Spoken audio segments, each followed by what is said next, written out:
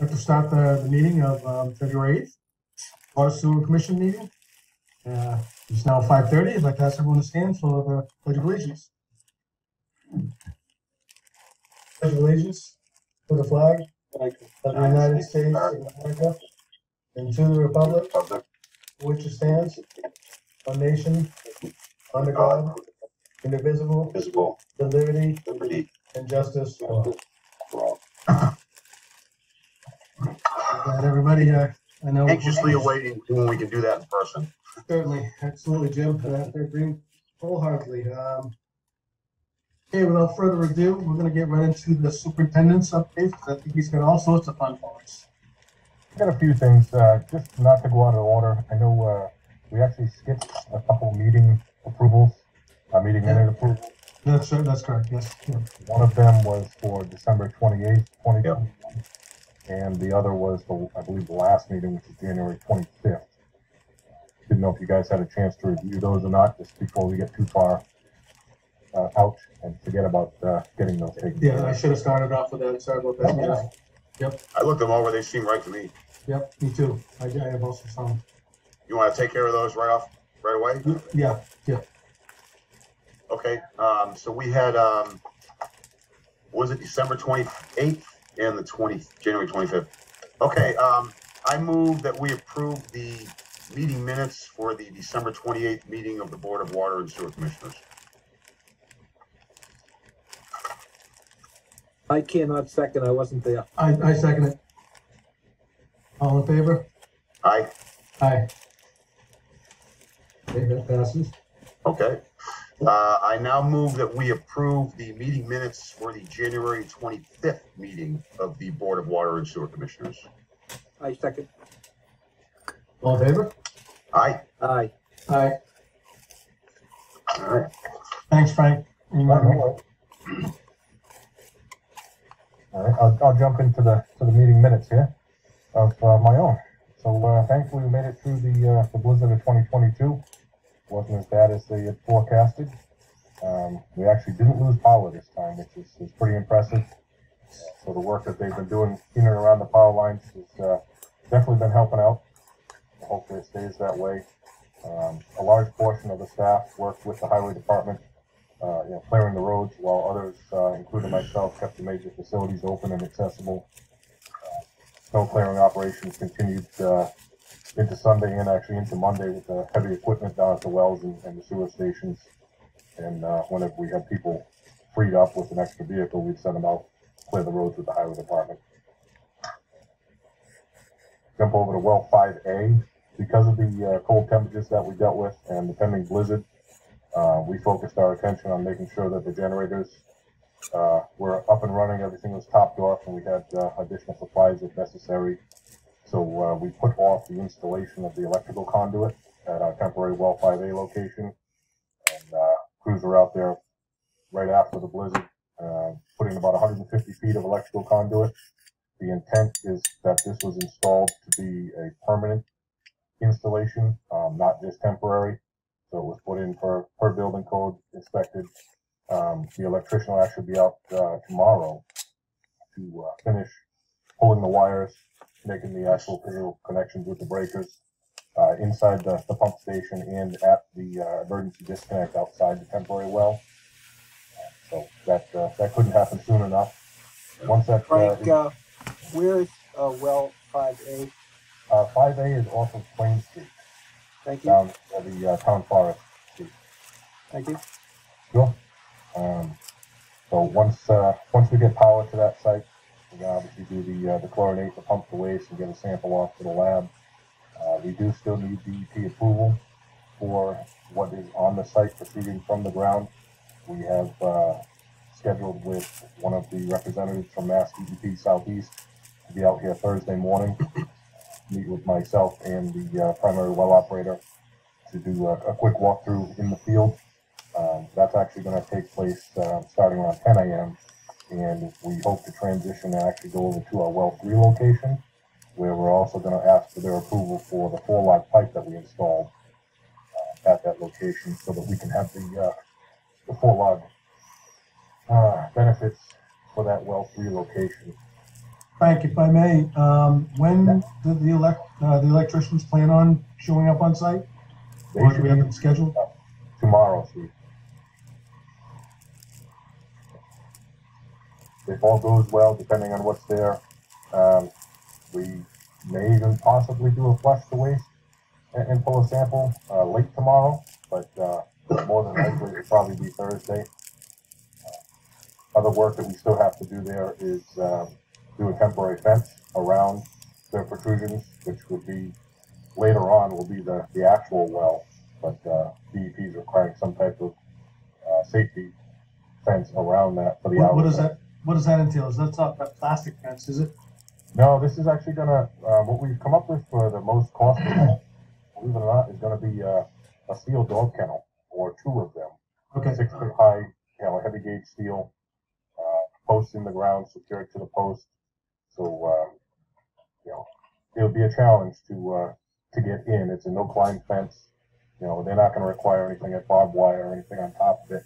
And for the most part, we're gonna have staff in and out of there, um, especially in the beginning, once that well goes online, making adjustments to the flow and, uh, you know, making sure everything is, is where it needs to be.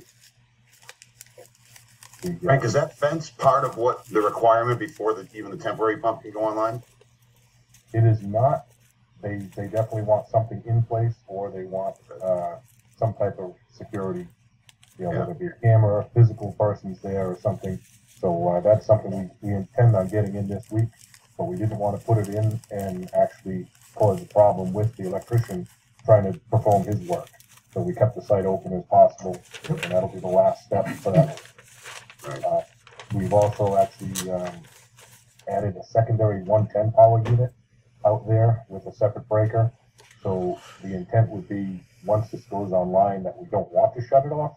But if for some reason we did have to shut it off for plant maintenance, and we are still in the middle of February or, or, you know, a cold day in March, we actually are gonna insulate the exposed section of pipe with a concrete insulating blanket and an oil-filled heater, uh, underneath, similar to what we use on some of our other locations, um, that were problematic if the heat had an issue. So it's, uh, it's vegetable oil, it's perfectly safe to be used in the, in the location, it's a sealed unit. Uh, so just, we've taken as many precautions as we possibly can, you know, looking forward, especially dealing with the temperatures that we've dealt with, um, in the past couple weeks. Uh, the goal there, providing we have a place to put the additional water, would be to run that station continuously, um, until we're outside of the cold snap. So again, like I mentioned, we actually, uh, we have the, uh, samples in from the four log pipe that we installed at well three. Jillian should be out.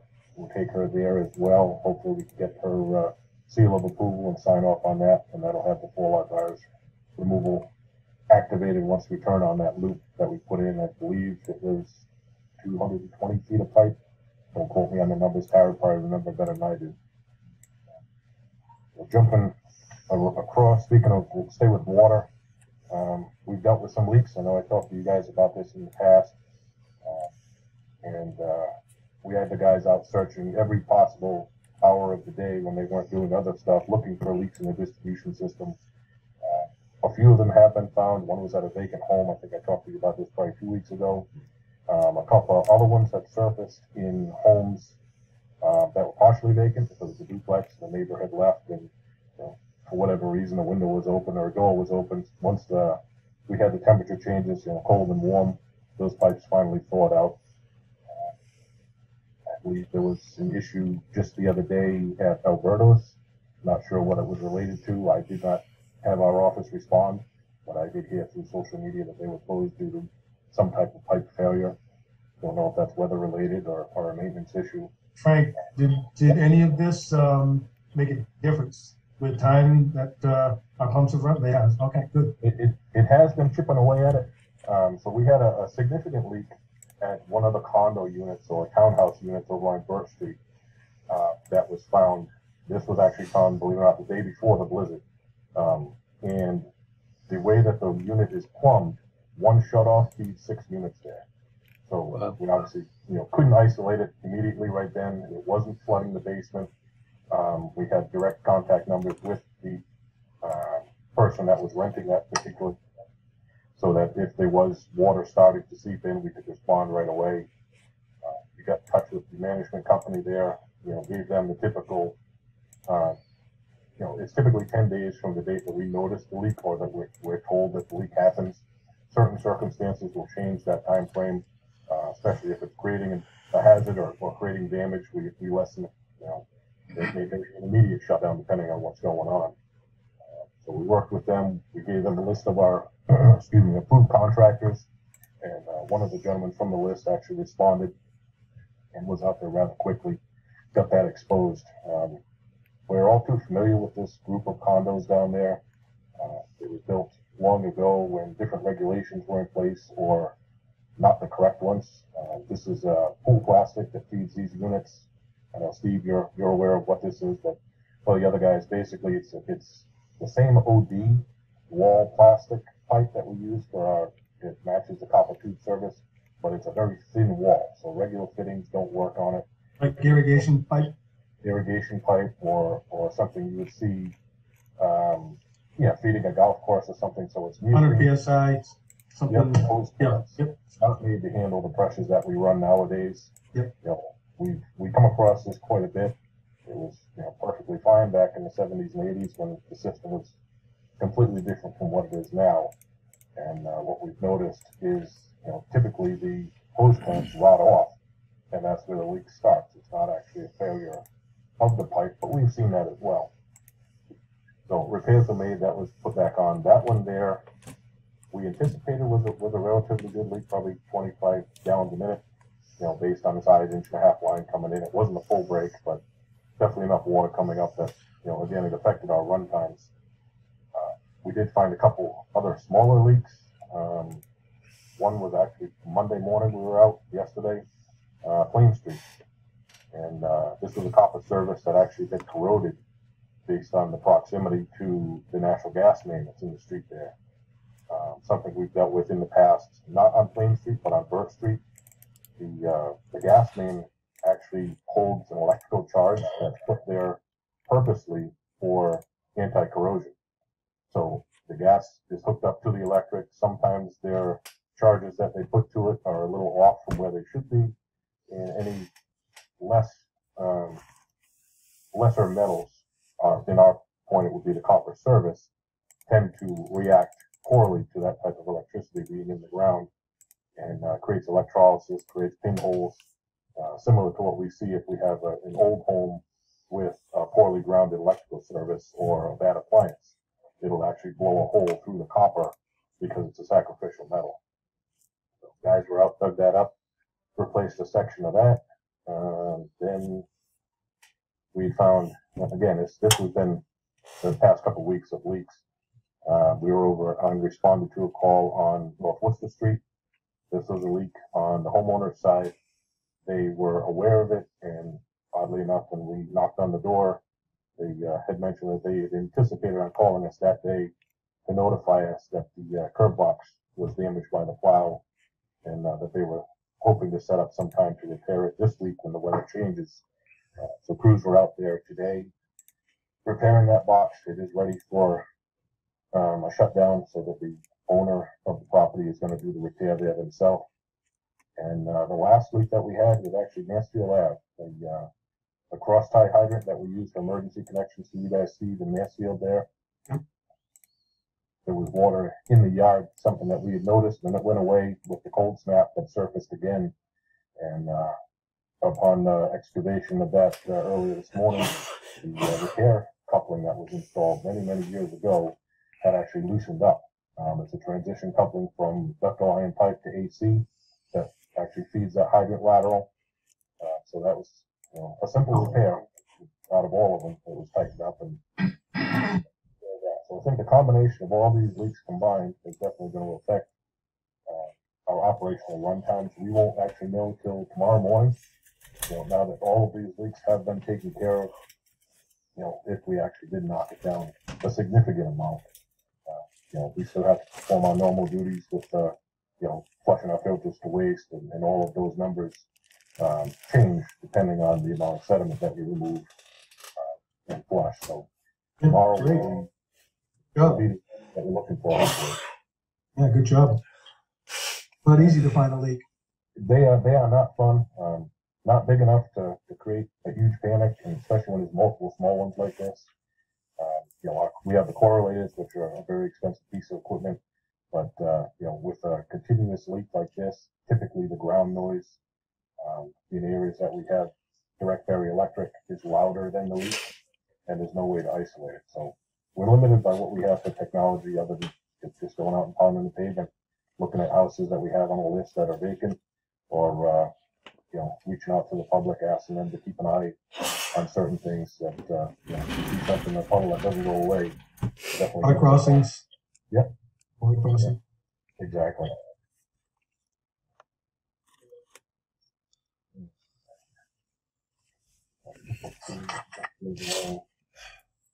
And something I just want to bring up real quick, I know Steve Peterson could probably talk a little bit more about this. Um, at the last meeting I had mentioned, and Mr. Bernstein had offered to go to, um, some meetings in the future, uh, either uh, EPA or Mass DEP. Uh, there are some upcoming changes with the sewer regulations that, uh, we were involved with, uh, two Zoom meetings. And it will, um, be something that we have to deal with, even though we are just a collection system. So we're waiting for a little bit more information to come across on this. Uh, but it sounds like they're looking for different types of materials in the waste. And where we're a combined system, we would most likely need to sample our soil independently before it gets to the combined sewer, so that the MFN would be able to determine um, charges based on what is found in our. It's, uh, it was, the meetings were, were pretty intense, they were pretty long, a couple hours long.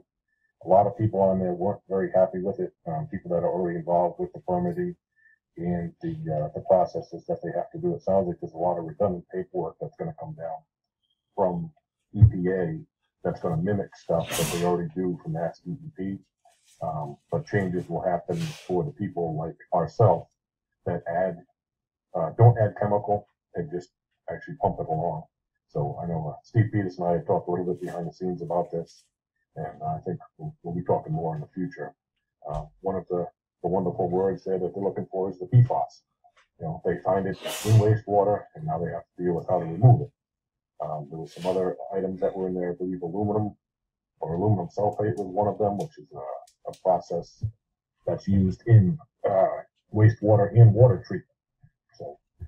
They're looking for, I think they're looking to set DTEC limits and then actually have an MCL if you have a violation over that amount and try and determine where it's going to come from.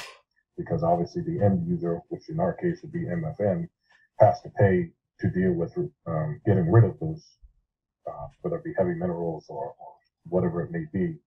So obviously our cost to the MFN could be affected drastically if something's found in the Norton sewer and not um, particularly any other sewer that goes to the MFN. Uh, We'll definitely keep you posted on that. Mr. Bernstein, if we can get you in on a, on a few of the next meetings, we'll gladly link you in on those. Okay. It's all new to us, but I know Weston Sampson, I don't know if Steve himself was involved, but I know they had planned on having uh, a representative there because they know it is gonna be impactful to uh, a lot of the users where we haven't had issues in the past. Yeah. So I wasn't, I wasn't there, Frank. We had several guys, several people there, excuse me. And, um, I did reach out today, um, and we're still waiting for a debrief. They're gonna put, um, some information together on, on what they came away with. But I believe that, um, you're talking about probably two different, um, seminars, or were these all related to the same thing? And I know there's stuff with the, uh, reporting on the sanitary sewer overflows and stuff like that. I don't know how that relates to the sampling you're talking about. I think that was a different, a separate seminar, which, you know, I know we also had people at. So I'll just, um, have to compile that information and uh, find out what, what we found out. Yeah, you're right. There were seminars. Um, one of them was based on sanitary uh, discharges that will make its way to groundwater or surface water, if it be a pond or something. Um, that was, I believe, an SSO, and then there was another one that was uh, a, a CSO, which was a combined uh, Right. flow. Um, that was a, a different meeting with different reporting that's required.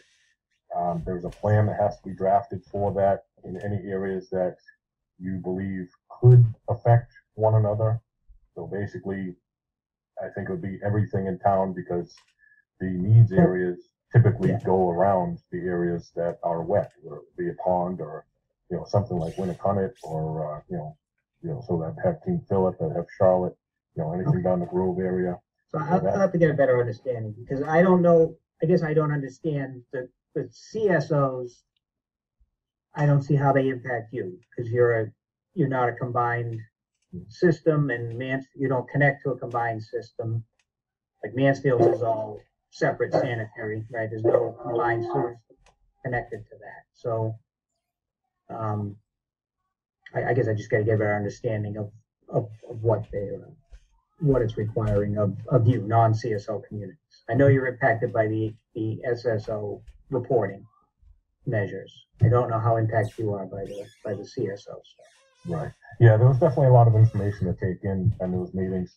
You know, both John and I were in attendance there and we, we both come out of it scratching our head with more questions than we had um, that were even asked in the meeting. Um, we are still waiting on documents to be sent over from that meeting. And I believe um, they were going to also answer all of the questions that were in the chat and forward those to all the people that signed up for the meeting.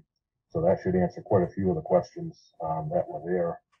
The um, some of the other issues that came up that were eye-opening in that is that even the private sewer systems, um, you know, a couple of them come to mind here in town, depending on the size of their capacity, they also would be affected by having to do this reporting. Um, so that's one of the biggest changes that I think everybody was really surprised about. And uh, any of the reporting, the restrictions on the timeline uh, they want media access. Um, they want um, reverse 911. You know, so some of that was some of the big big takeaways from it. Uh, you know, a lot of people don't have the opportunity to do that. So there, there's definitely some changes I think that we'll see coming down the road. I just want to make sure you guys are aware, uh, just a basic idea of what's going on behind the scenes. Will these private uh, systems that are subject to this, will that have to go through our, our department or is that hundred percent on them? No, 100% on them, and it was based on capacity um, of what they have. So depending on what size pumping station they have, they either were or weren't, you know, affected by this. Uh, but I think regulations are in place regardless of capacity that uh, there needs to be warning um, capabilities. You know, if there was a failure, if it's going to get to a certain point, run for a certain time. You know, it was, it was pretty involved. It's not like they, they spent quite a bit of time with these regulations that uh, are actually already in place. Um, I believe the enforcement date was July 6th when um, you need to have your plans and everything in for them if you fit the certain criteria. We definitely have some time. Just want to make sure you guys are aware that there's uh, some changes coming. Whether how much it affects us exactly, I can't say right now. Deal with that when it comes down the pike. So uh, that's that's basically all I got. I jumped around a little bit, but that covers uh, definitely covers what I have for updates for you guys. That was short and sweet. I try. All right. Yeah. All right, so, uh, next on the agenda, we have, uh, two eighty-six South Worcester Street. Uh, do we have someone here on that, or was that, so we, we have, um, literature on that? I don't believe that they had planned on attending, if I remember hearing correctly. Oh, Okay, Um, will you give us a little background on this, please? yeah, so this was one of the locations. So we go out and we do our meter reading um, quarterly. If for some reason the meter doesn't read um, or is a partial read, we obviously notice that when we come back to the to the office here and download the readings. Notices would be then handed out to each of those locations indicating that you know, we were unable to obtain your meter reading. Please contact us um, to uh, be part of the meter change out program. You know, typically these are meters that are 10 years and older that just typically fail. Um, and, you know, what has to happen for the billing cycle is Rose or now Brooke would go back and look at previous usage for that particular quarter and input that in. So it's, it should be fairly close to the accurate amount of usage for that time frame of the year. And the bill would be sent out, it would be an estimated bill printed on, on the copy with an E instead of an A for actual. Um, Usually, within, you know, a couple weeks, we hear from the customer, we respond, put in a new meter, update the information in the computer and, and all is well. In situations such as what happened here, we didn't hear from the customer. Another billing cycle had started. We went out, read, it was estimated again. The billing software doesn't allow us to put in a lesser number once you move forward. So now you add a couple to that last previous reading that was in there. Two, four, whatever, whatever the number may be. And usually it's the second or sometimes the third round that, um, you know, the customer will notice this bill just seems a little off for this time of year. You know, again, if we had gone out a second time and the meter didn't work, we would have left another red card or yellow card indicating we need to get in and change your meter, please contact us. Um, so this customer noticed it after the second round of bills were estimated. Uh, Based on regulations, within thirty days, they have the right to dispute the bill, which is what they are doing here. Um, they acknowledged that the bill was similar in charge the first time it was estimated. Um, obviously, it was more this last time that was, was around because we had to add a couple to it to show usage in the computer. And that's what they're disputing, is that when the meter was replaced, the numbers on the meter were lower than what was generated by the computer estimate, which we billed them for. The problem with this is we have no way of knowing or verifying the accuracy of the meter once it stopped reading, whether it was a defective meter, whether it had some debris get jammed up inside it, you know, or it was just the battery wore out and it wasn't transmitting a reading. Uh, meters aren't tested once they are taken out of service unless it's requested by the homeowner, and it's Do also they- paid for by the homeowner They, pick- okay. if it tests accurately. Um, Do they, do they know they had that option? I don't know if they had that option or not because it wasn't asked for. Uh, Okay. Typically, it is, it is an option for everybody to ask to have their meter tested. Uh, most times they don't want to pay the seventy-five dollar fee, um, because it's seventy-five dollars charged to them if the meter comes back accurate. If it comes back and it's incorrect, which I've never seen, then obviously we eat the cost. We change the bill or, or make whatever adjustments are necessary. Uh, but we choose this style meter because of its accuracy. Um, you know, obviously components fail. We've had a few meters that, you know, get a piece of debris jammed in there. The water still flows through perfectly fine, but the reading stops. So the only way to verify that the reading, you know, was accurate would have been to have that meter tested once it was removed. But again, just something that, that's not normal practice. Once a meter fails, whether it be age or debris or whatever, you know, it's recycled when new meter is installed. And it had to be, sorry, go ahead. Please, please go ahead, Jim. I was gonna say, so the meter, um, it has to be a request from the homeowner to have it tested? Right. Um, what if would they happen? don't- Yeah, go ahead. No, so if they don't ask us to test it, is there, is they have a- like a time that they have to come to us to ask us to test it or? Um, and if it doesn't get tested, then wh- what are the repercussions of that then? Is that, that leaves them no recourse or? Well, yes, basically there is no recourse. What happens when a meter is requested to be tested? Typically, they're disputing a bill, um, or they don't believe that the recording that is on the meter is accurate. So then there's a different process that happens. You know, normally we go in, the guys rip the meter out, throw it in a bucket with other meters that were changed for the day. It goes in the back of the truck. It gets cleaned out at the end of the week or whenever they they have a light day. If a meter was requested to be tested, different procedures take place. Obviously, we, we take it out, we cap both ends. You know, it's, it's stored differently. It's stored inside the building. It's tagged. And we immediately call the testing company that we use, uh, Regan Supply and Please Testing. explain. So to do that with all of the meters, you know, in place, it, it's just not a normal practice for us. I But even in this situation, it was just that it, it wasn't working. It wasn't that it was giving the false reading. It just wasn't giving any reading, right? Correct. It, it had stopped working. We had left two cards, you know, very similar to what we do more often than not, you know, probably 15 to 20 times each reading cycle. We have a small group of meters that has reached its age and has either stopped recording or, you know, doesn't, is still recording and not actually giving the signal to the electronic reader. So these meters have a built-in battery. And, you know, it gives a signal when we go by with the drive-by system. Okay. Now, in regards to the bill that they have now, uh, is it much larger than- or is it much more than they normally get at this time of the year? Looks like it's a lot more, Steve. It would be a lot more than what they would normally Okay. see this time of year. So, I mean, wi- without, without testing this meter, we don't, this meter kind of needs to be tested for us to really, in my mind, to make a decision on, on how we can approach this bill. I mean, u- unless we just do a, a- an average across the board, what they've done the last couple of years, and do an, an average bill. Well, it looks like, um, the thirty-eight that was come up with was the average of thirty-four and forty-one, I guess, the previous two years of that same period. But the next period where he's getting charged forty, it was an eighteen and a sixteen. So the average would be seventeen. So he's getting almost double charged for, in theory, what he probably used.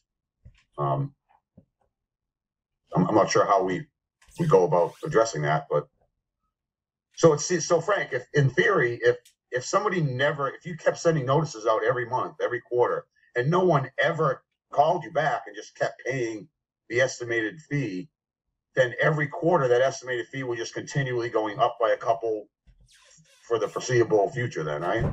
Exactly. Is there any way we can change the programming so that it can keep doing averages, or does it have to go? Has to be more than the previous? Is that like in a bylaw or something, or? I don't know if it's in a bylaw anyway. It's just the way that it's always been, been done in the past. You know, it was based Say on. also that part of the reason we estimate the bills high is to get the customer's attention that they need to have their meter changed. Right, right. Uh, And You know, just, when- for- and just so you know as well, uh, other towns do this, the same process. Yeah.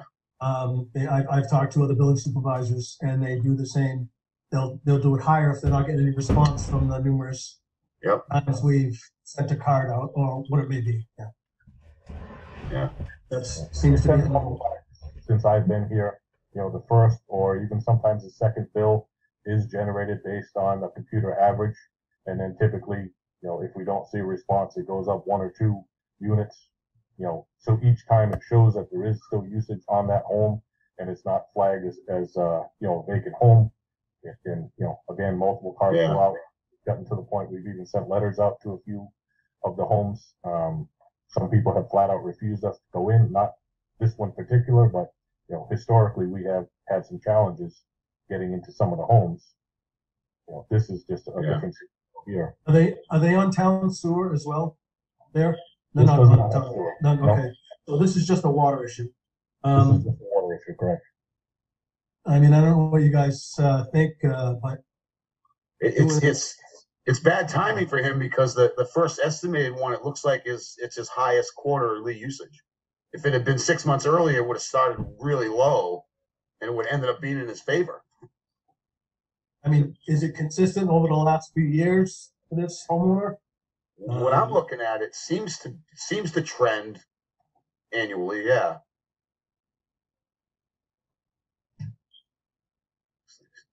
Yeah, I mean it's definitely uh. It, it trends up to to that the September fifth reading that quarter, and then it trends down from there. So that's its highest usage. I don't know. That just seems weird to me that that that that um, I- I totally get it, but it's almost it's almost like it's um like you said, it's to to to get somebody to realize they need to get the water meter changed. So it's it's almost like a penalty, really, a little bit. With that, um, with that, with that penalty, I mean, you, you, we still have to, we still have to bill accordingly. Yeah. And is it, a- is it to adjust the bill, if we were to do that, it would have to be some sort of average, the last couple of years of average, looking at their bills to make sure that we're consistent with what their usage is generally, generally is. So for the last couple of years or so, in that time. frame. Oh, absolutely. Only, the problem is that the quarter after the quarter in question, the second quarter he got billed for is his, it's half of what he's, his previous usage would be. The thirty-eight he got charged is right in line with his fall, with his fall quarter, I guess, from the previous couple of years, at least for the, the status report I'm looking at. Right. So, so Steve, you're saying that average the previous two or three years from September to December bill is what you're saying, right? From that time, from, from that billing time frame, yes, correct. Right. Not seeing, I don't have that in front of me, but not, uh, you know, that's that's just my train of thought. I, I- I kind of agree with you. What I'm looking at though, it's gonna, it's gonna basically chop his bill and chop that bill in question in half. I don't know if that's, um, gonna end up working out in our favor, his favor or what, Uh, but, uh, Frank, Frank, how often does this happen? it's a good This is question. not, this is not something that's very common. Uh, we have, uh, like I said, maybe, maybe fifteen meters, uh, each quarter that, uh, we may have to go out there and replace. Uh, typically, once the notices are sent out, the guys are out within a couple weeks changing those meters out. So it's not, this is not a common practice that we see an issue. Um, I think again, here it was probably the perfect storm. It was the Yeah. billing cycle that mimicked the previous billing cycle, so it didn't, you know, pose any concern to the resident that this bill might be a little bit higher. Um, obviously, it definitely wasn't lower because it has to be- based on an average, um, until the second time came around. Uh, you know, the only concern here, obviously, e- each one is taken differently. You know, looking at the meter, if the meter reading stopped at a certain point, we don't, we can't verify the accuracy of how much went through there. Uh, So we have to be very cautious about what we average and how many times we do this without having verification, you know, for the water that really went through. I mean, we probably have more water in the leaks that I talked about earlier than we're talking about going through this meter, but everything is supposed to be accounted for. Well, without us proving what the accuracy is on this meter, we're kind of hard pressed not to average out a bill. Over, over looking at, like John said, the last couple years, you know, in that time frame. And I know it's exorbitant, but we had to kind of knock on the door, as it were, with, with, uh, boosting it up, so they notice it and I don't know, it's, it's kind of a, to me, it's kind of a hard thing to, I, I win, if you want to call it a win. I don't want to see anyone pay anything more than they don't, than, that, that they're not, you know, supposed to pay, but on the other hand, get their attention. Yeah, it, it's, it, it's, it's all that, the whole, his, his first estimated one, he probably didn't realize it was estimated because it came pretty much in line with what he would pay in that quarter. Yeah. You know, so he probably didn't even, he may not even know, have noticed it. Although I'm sure he would have noticed the car that we left or at some point, you know. So it is, it is, I think, still a little on him for letting it go an extra. We did do our due diligence. Yeah, we did our due diligence as, a- as, as a, as a, as a water department by leaving notices and trying to contact and as best we can. Um, It is a sticky situation though, because the numbers that I'm looking at from the previous two years, it's, it's a little more than double what he, he probably used. So I'm, I'm, I'm sure if I were him, I would probably be like, why am I getting charged so much water?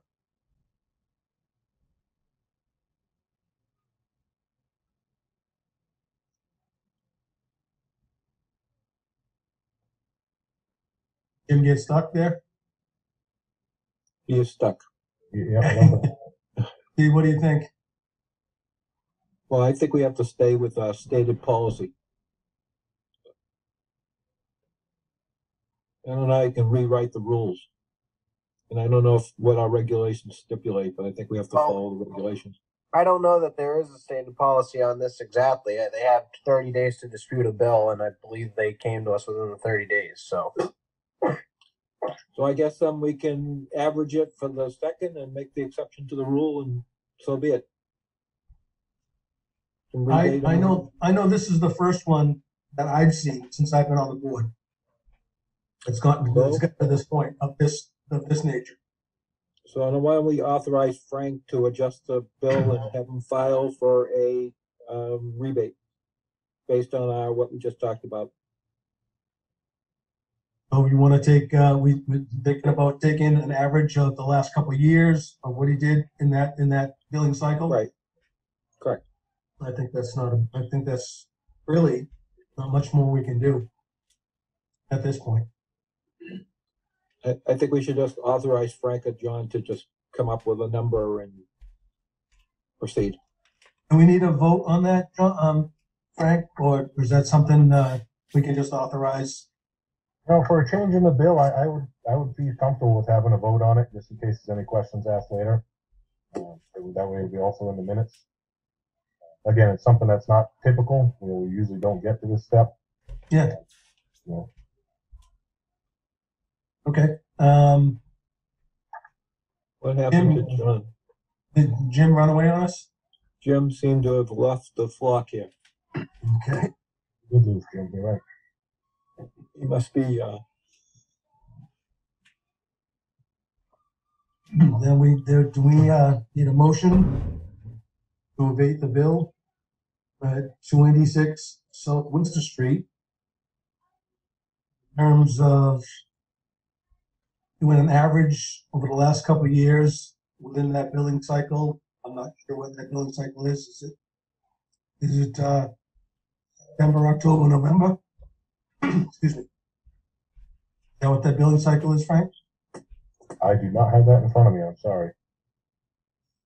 We will, we will adjust, It's Yep. it's from September first to December first. look at the last couple years of that time frame of September first to December first, and a- and and give an average bill to the homeowner.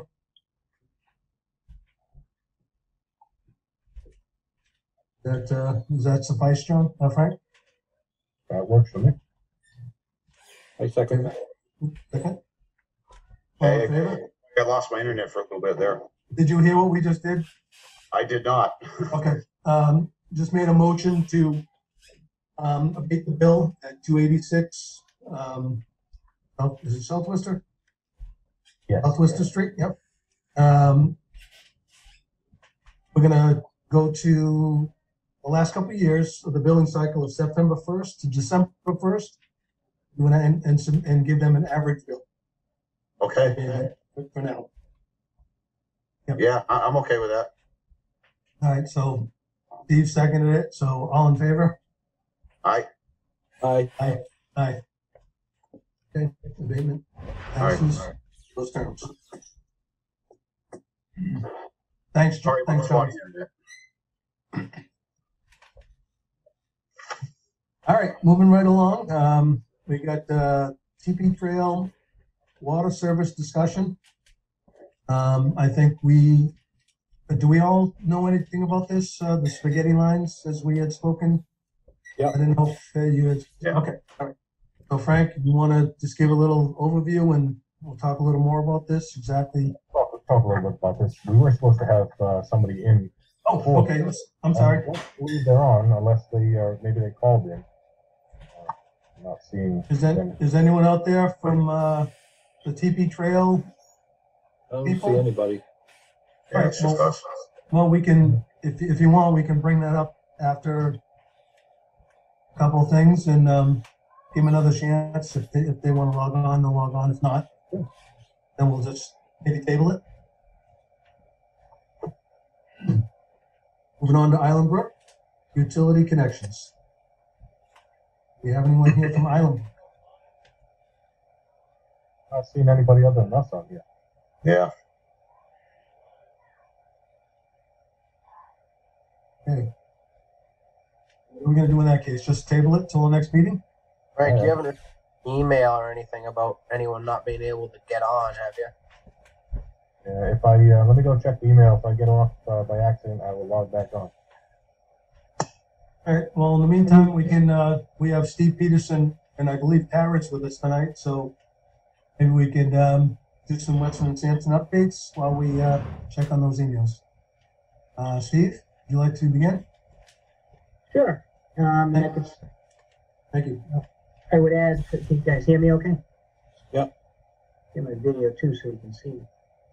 Um, I guess I would just add to that, I don't know if you're bound by the times on the agenda, so Island Brook technically isn't on until six forty-five, so they may not be on yet. Oh, okay, I'm sorry. Okay, I wasn't paying attention to that. That's all right. And the other That's a caller rook- is That's a, technically that's now. a, that's a rookie move. Yeah, I'm pretty sure they were told to uh, get on early in case things sped up faster than anticipated. I mean, it's not a hearing, so it's not a posted hearing time, it's just, that's where they're listening. That's okay, we'll, we'll call again at six forty-five, that's fine. Thanks, Steve. Um, so we can touch base on that. The, so one of the things I had was the Island Brook, um, information. We obviously, I sent an email out today, just trying to Yep. give some input, um, on that and where we're at. Um, we'll obviously have to talk about it with the developer.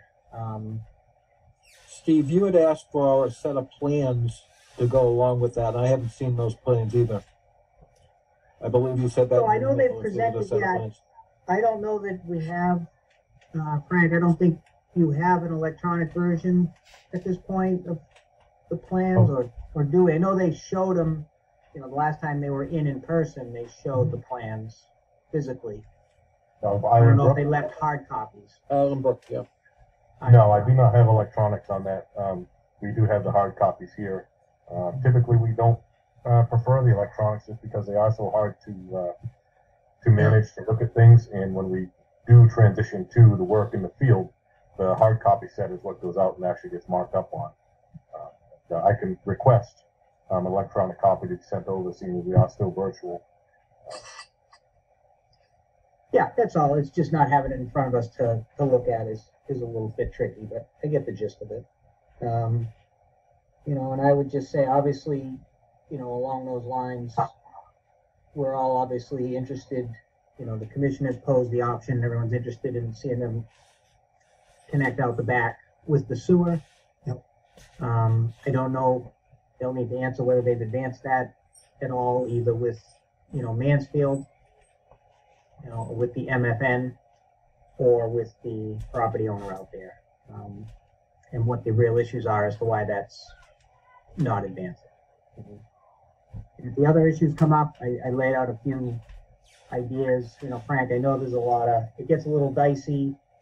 You know, based on their plan right now, they, they want to put in a pump station, um, collect everything by gravity on their site.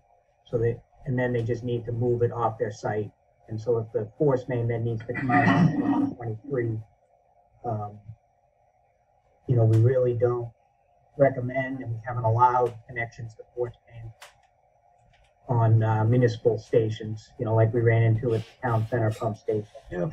Um, where the people on Plain Street and Pine Street were questioning why they couldn't connect to the sewer. Um, so if it is indeed going to be a dedicated, you know, pump station with a dedicated force main, I think, you know, as far as, you know, one of your comments is we have to leave, you know, we, they have to extend the sewer consistent with what the plan for the areas along the way are. I would offer that the best option might be to have them size that pump station for that you know, for some future connections from that immediate service area. Um, but that's just something you guys need to think about. And I think, I think that's a great idea. I, I think that's a tremendous idea. I'm sorry. Yeah. but, uh, Yeah, Yeah, especially with the town hall, right down the street. If Yeah, even and they could, they, they could do that, they could do that regardless of where they go into the MFN, even if they went to the back lot, yeah, it's just, they could Um, still size the pump station big enough for Yeah. and it's, right? It, it's not gonna be, it's still not gonna make it a, a real large station. It's not a huge service area. So it's not gonna make it unreasonably large, you know, it's not gonna change it from a, you know, submersible type station to something a lot bigger. It should still be well within the realm of a submersible type station, similar to what we did, you know, it's a lot smaller than what we did at, uh, at the housing authority property. So, um, it's something to consider. It's just as far as, it, it seems like then the actual gravity sewer infrastructure is something that you guys would entertain down the road. I don't know that, you know, we're not ready to get into that right now. It's just having the, the main infrastructure in place for that down the road. As far as the, and I know Frank, there's additional concerns about, you've already got one private sewer on the other side of one twenty-three, having another private, um, force main in one twenty-three, if that ends up being, for whatever reason, the way they have to go, if everything else doesn't go through. Um, you know, I think you have to consider measures, you know, maybe put more measures in terms of inspection of the installation, you know, oversight of it, and record keeping as far as where everything is and having better data on where it is. It's not a significantly long stretch, but impact. And it's not so much a concern about keeping the data and doing the inspections on it. It's who's responsible for it when it comes time to mark it out. The Yeah. issues we have with the private sewer that's out there now, um, on both sides of the, uh, municipal interceptor there, uh, those people don't get notified and nobody knows how to contact those people if they wanted them to be notified. I'm talking about North Cottage and the, uh, the Lemon Street project with Conduct. You know, you got a, a huge sewer main running down the middle of the road and nobody has a contact for anybody, you know, to do a mark out there. If you call DigSafe, it's not a member utility because they're not large enough to be part of DigSafe, you know, which would be the solution for all. Um, but, uh, you know, same thing with, with, uh, North Cottage. You know, they're not a member. Uh, they don't have staff that's on hand twenty-four seven to respond and mark it out if somebody hits a pole or somebody hits a hydrant. You know, anytime we go out there, we have a general idea of where it is. If we have to do a hydrant on that side, you know, we'll pull out what we used to believe were great plans, and now we found them to be, you know, basically trash. You know, the work that's going on out there with the Mass DOT project has proved that that sewer main is not where it shows on the plans. You know, it was struck twice, I believe, um, after it was marked out by a private contractor for North Cottage when they were putting in the uh, guy wires for the telephone poles you know, some 15 feet off from where it shows on the plans. Um, anytime they've come across and had to upgrade the water services out there when they're doing the transition from the small main to the large main, they found that water main within inches of the sewer main. You know, something that never should have been allowed. Yeah. Right. There- There's, there's Yeah. multiple problems out there with that line, which is one of the reasons why we will not take that over. Um, it- it's, it's there, it's, it's in, in use right now, but, uh, it's inferior. Um, I wish we would have known more about it, you know, uh, years ago, because done something and they corrected the problem with what we deal with now for, uh, availability up on one twenty-three. How old is that line, Frank? When did they put North Cottage in? North Cottage had been there for quite a while, but I believe that line went in thousands. Uh, Yeah. once it interceptor there. Uh, Steve probably has a better accurate date on that, but, um, So I see a, um, the Concom sign, it looks like two thousand and four.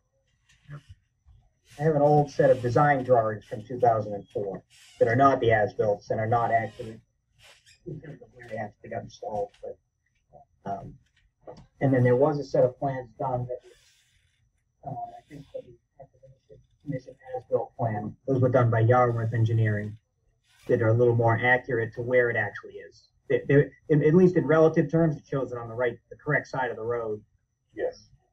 and where it crosses the river and all of that. Yep. But, um, and those were done in two thousand and ten, so I think those were sometime after the pipe. was. Somewhere in that two thousand five timeframe is, is when it was in, so it's not that old.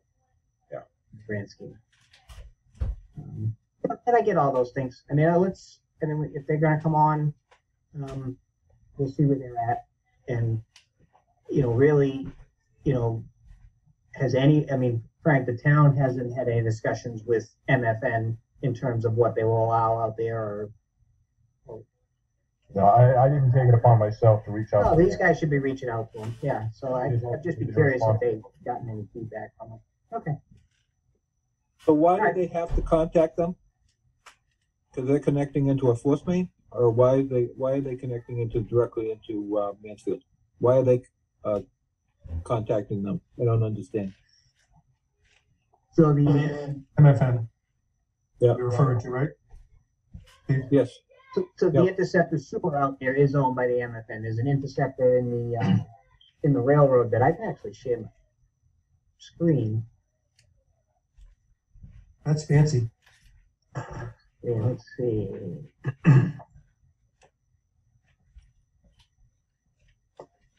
Yeah, so Steve, to your question, the, the, uh, the MFN owns the interceptor pipe, the, uh, the large transmission sewer main that goes through multi-communities there. Um, they maintain the easement, they maintain the pipe, and they have specific requirements, um, for no direct connections to it. So they actually require manholes to be put in on, on either side of the main prior to making a, a, a direct connection to it. Um, that's all handled by Mansfield, and uh, that's why they would need permission from them uh, to connect, also to show that they have the sewer flow available um, that will be going to the MFN because that needs to be added to their, their quantities. Okay, I understand now. Thank you. Yeah, Yeah, because there isn't currently a municipal sewer in front of them that uh, that is already connected to the MFN. So I don't know if that, so that figure, can you guys uh, see my screen? Nope. Okay, I, I just X out, so I stopped it. So that's fine. Um, so I guess we'll wait and see what they have to offer without going any further on those. Um,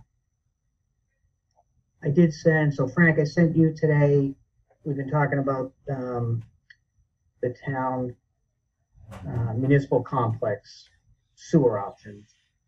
Um,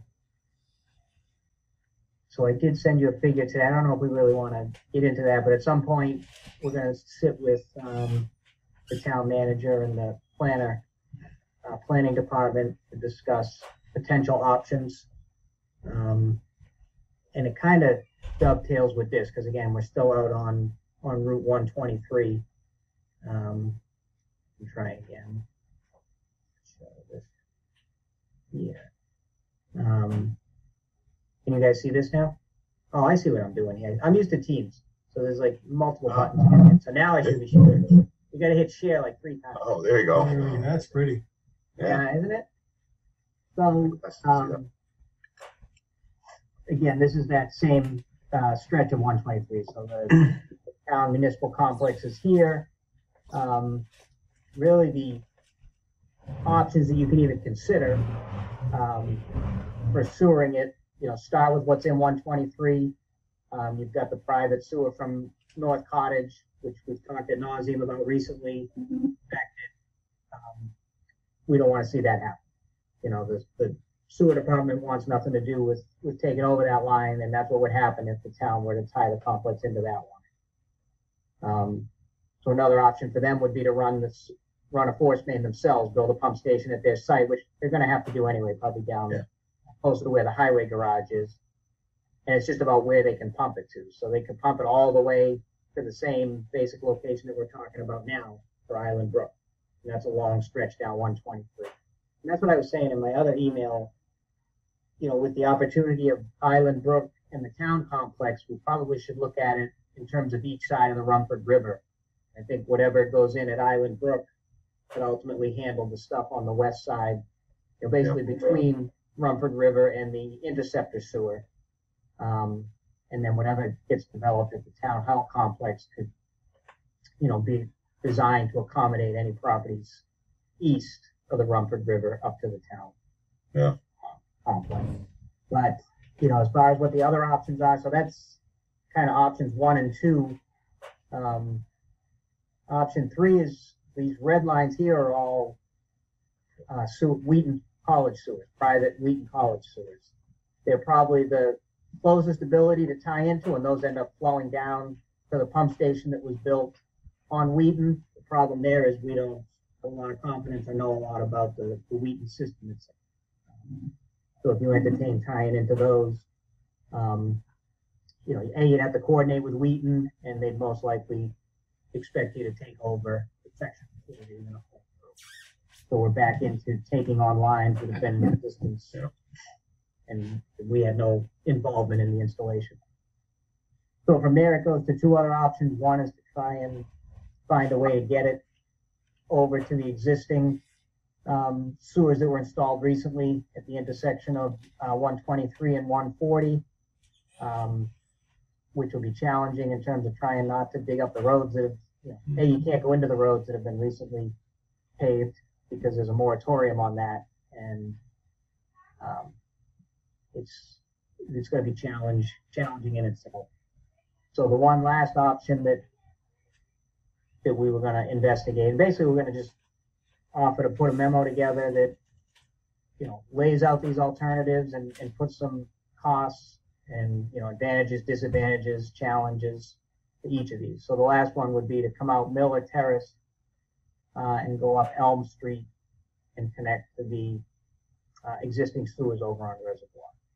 Um, it would, uh, it's probably the longest of the options, but it might open up some opportunities along Elm Street um, to provide system property. Um, so really just a background and, you know, this is something that the town manager is requesting some kind of study so they can figure out the best way to tie it in. It's something that the town um, is going to pay for this study outside of the, the water and sewer department. But obviously, I want to work closely with with Frank on the alternatives that we that we provide. And I call them alternatives, you know, because we have to write them off. You know, we no longer really consider the connection to the private sewer an alternative, but that's where they were envisioning going. So we have to make sure we explain to them why we don't want them using that.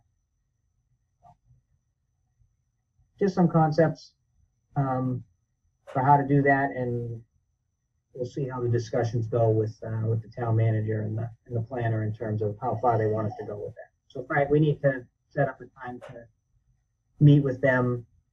Um, I don't know who else needs to be involved um, with that meeting, but you and I can chat about that.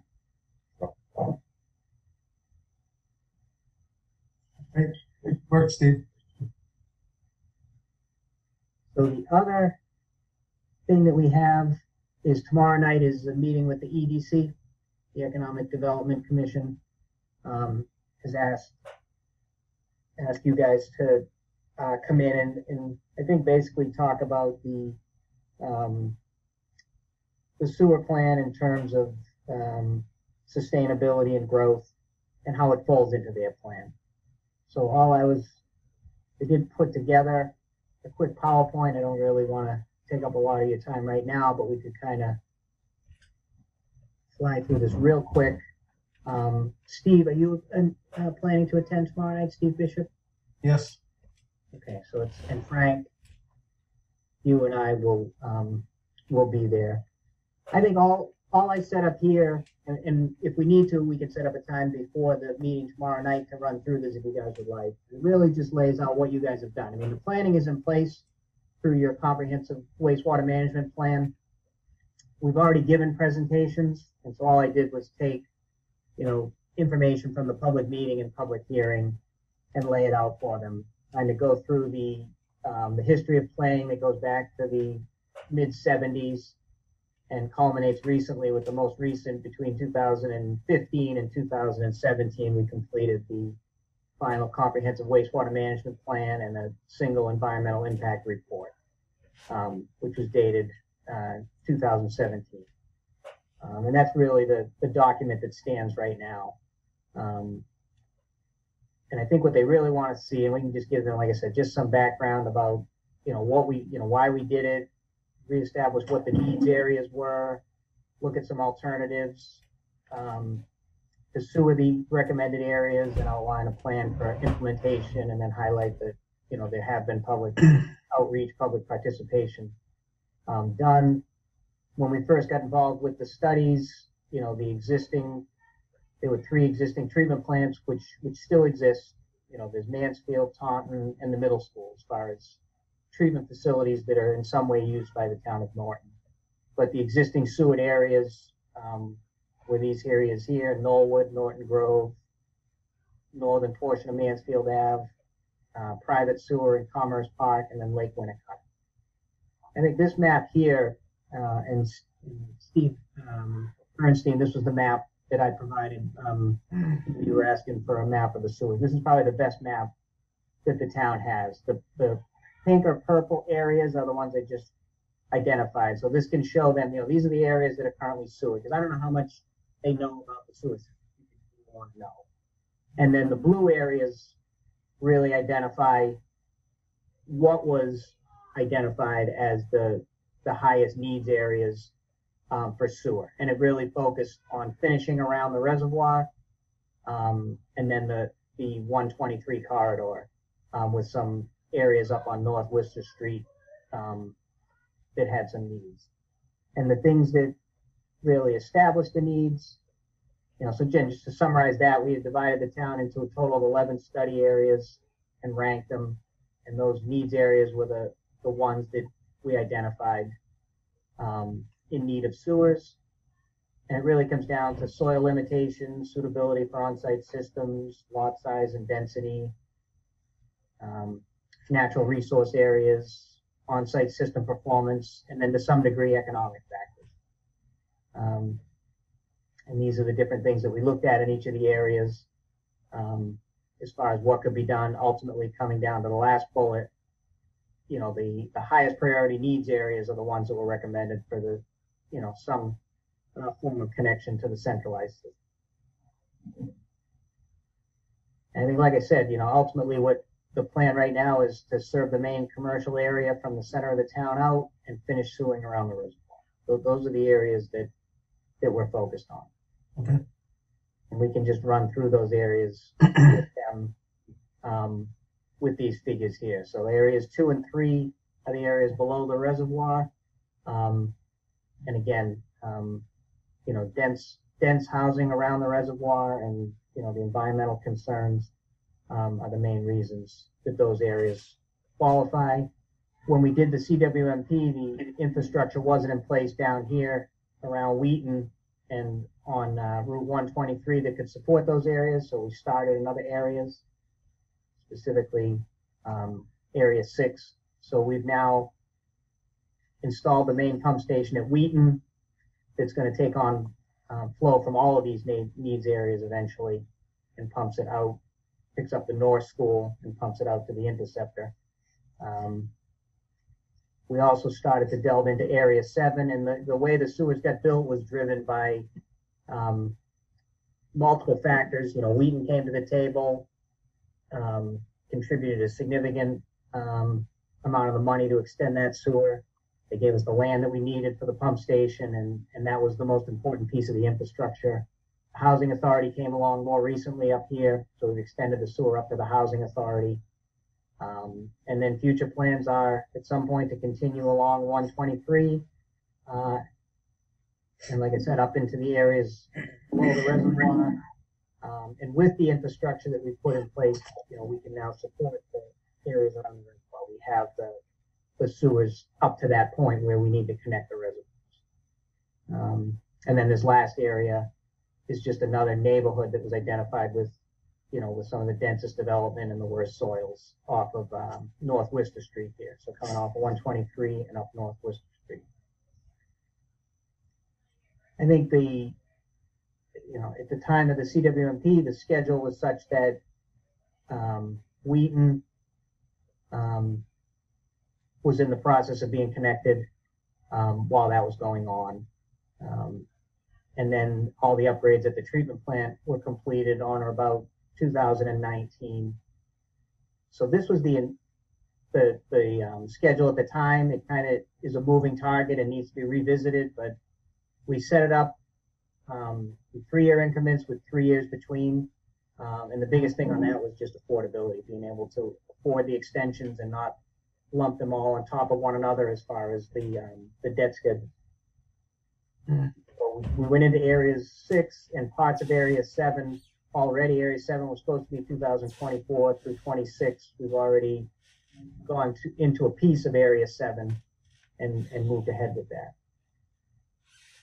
So it's, um, and I don't know, you know, how much we need to go into any of this with them, but, you know, in terms of how they're, you guys are funding it, you guys are familiar with that between the sewer betterments and connection fees, um, capacity fees charged to those that own private capacity, the sewer user fees, and then we're using those, um, annual payments, uh, to Norton.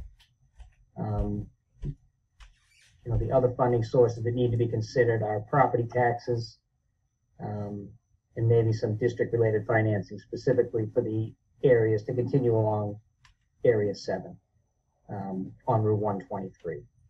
And really, to date, you know, the reason we've done it the way we've done it is because of the advantage of the funding that we got from both, you know, Wheaton, the Housing Authority, and bringing the sewers to the, the schools. You know, the North School and then the Yelle School and the high school, um, have really driven us to the point where we're at now. Um, and we've done it with limited to no cost paid for general property taxes. That has been something that the town, the select board has not had an appetite for doing that. So you have to be careful how quickly you move if you're not gonna have the, the general tax base to support it. You gotta be careful how you impact your user rates. So. It's a little choppy. I put that together today. Um, I'll refine it a little, but that's kind of the presentation I was gonna give them tomorrow. And I guess the, um, the main point being that, you know, the focus of the commission based on the CWMP is really focused on that, you know, commercial district, that town center commercial district, where you have the densest, um, you know, population of properties and a lot of the commercial properties, uh, and then those dense areas around your drinking water supply, the reservoir. And, you know, the rest of the outlying areas of town, um, there are no plans, um, to bring centralized municipal sewer to those areas. They're gonna be dealt with, um, in other ways. Hopefully I didn't take up too much time. I kind of just launched into that, but I wanted you guys to see it before we present it to the EDC tomorrow. Yeah. That, that meeting you guys have tomorrow, is that a meeting that, um, Steve Bernstein and I should specifically not be on on account of quorum issues, or can we log on and watch it as well? I don't think it's, so it's a published, scheduled meeting. I guess I don't know how that works.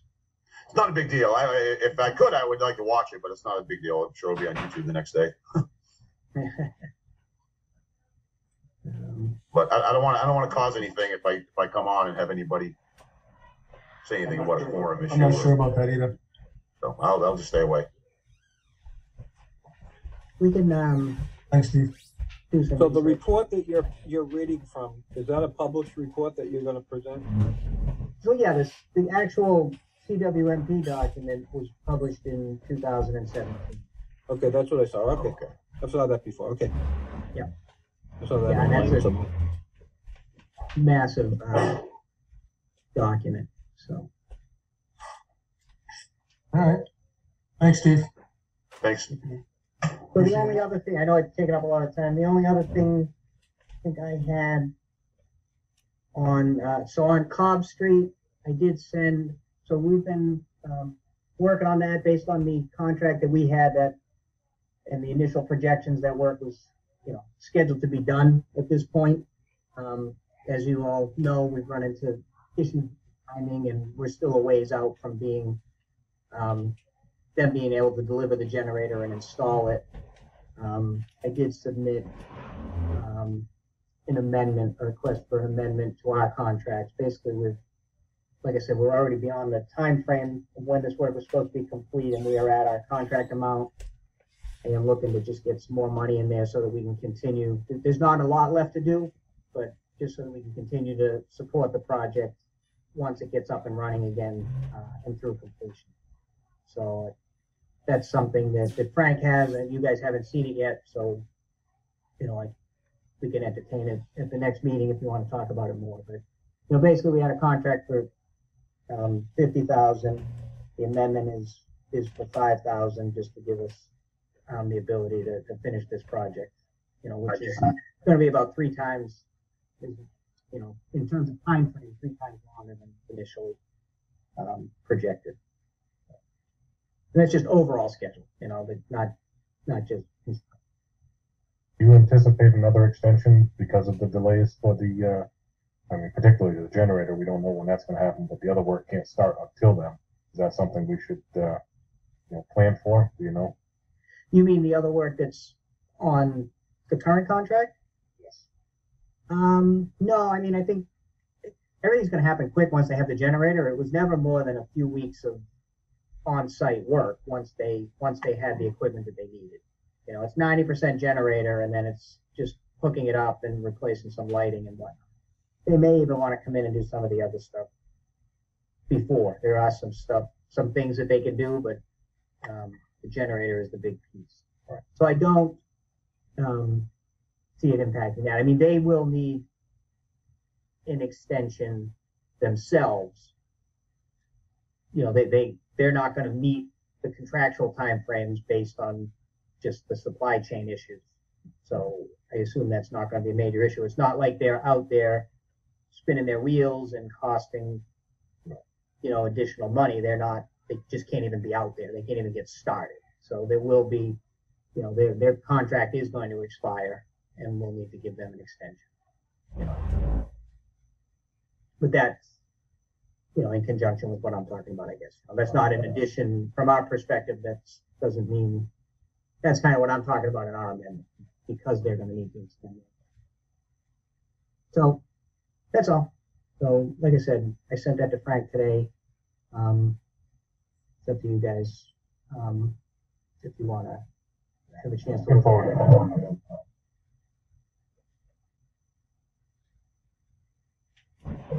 We don't, we, we, we shouldn't anticipate any more, um, any other changes then, you don't think, Steve? In your estimation, I know you can't predict the, what's going Yeah. on. You didn't No, I, this. I don't think so. I think that should be it. Yeah, I, I think we should be good. Well,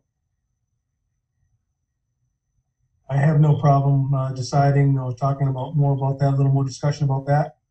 Gentlemen, do you have anything else, uh, you'd like to add, or I'm assuming we have to vote on this? So you will need to vote, yeah, in order to, s- Right. um, for it to be signed. That's what I Um, thought. it's something You can entertain tonight, or you can, um, we can talk about it the next meeting. That's up to you. If you, Maybe, maybe we can, uh, talk about it next week, give us a little time to, uh, yeah, talk. yeah, that works. Yeah. That sound good, guys? Sure. There's, there's not much to it. I've given you the background. It's a No, I one know. Pager. It really is just, it's taking a long time and time is money. So Okay. we can, um, we can answer any questions that you have. Yeah. Okay. Sounds good. All right, um, I believe we have, um, the Island Brook, uh, people here tonight. Um, I see a name I don't, uh, recognize. Are they from, um, TP Trail? Anyone out there from the TP Trail, uh, group? No, okay. So we'll, um, head right into, uh, Island Brook Utility Connection. Just, uh, Okay, State your name. Hi, Frank. So Hello. if you can all, if you can all see me and hear me, I hope, Peter Freeman. Am I Yes. coming through? Yes. Yep. Okay, thank you. Yes. Um, some of you may recall me, recall me yeah, from thank you. this, from this project and some others, but in any case, I'm the attorney for Island Brook. Uh, and I'm here just to reassure you, just because I'm here, it's not in any way intended or expected to be adversarial. Just the contrary, you know, I know that Frank Gallagher, our engineer, and by the way, I don't know if he appears, but Mohammed Aitani, my client, the principal from Island Brook is also present. Um, but you know, we wanted to, we need to go forward with both water and sewer. I'm told that the, the water is essentially worked out. Um, the thing that seems to be in need of discussion is the sewer. Um, so I just wanted to go over a few things, and then it does seem to me, from what I have looked at with the correspondence emails with Mr. Fournier and Frank Gallagher, and a few myself over the last month or so, um, you know, I think it seems like there's a way to do this. Um, just real, real briefly, not to dwell on, on the legal, but, you know, the contractual aspects and the zoning aspects with the zoning board certainly are relevant because as you probably know or do know, this is a comprehensive permit issued by the zoning board uh, under chapter forty B.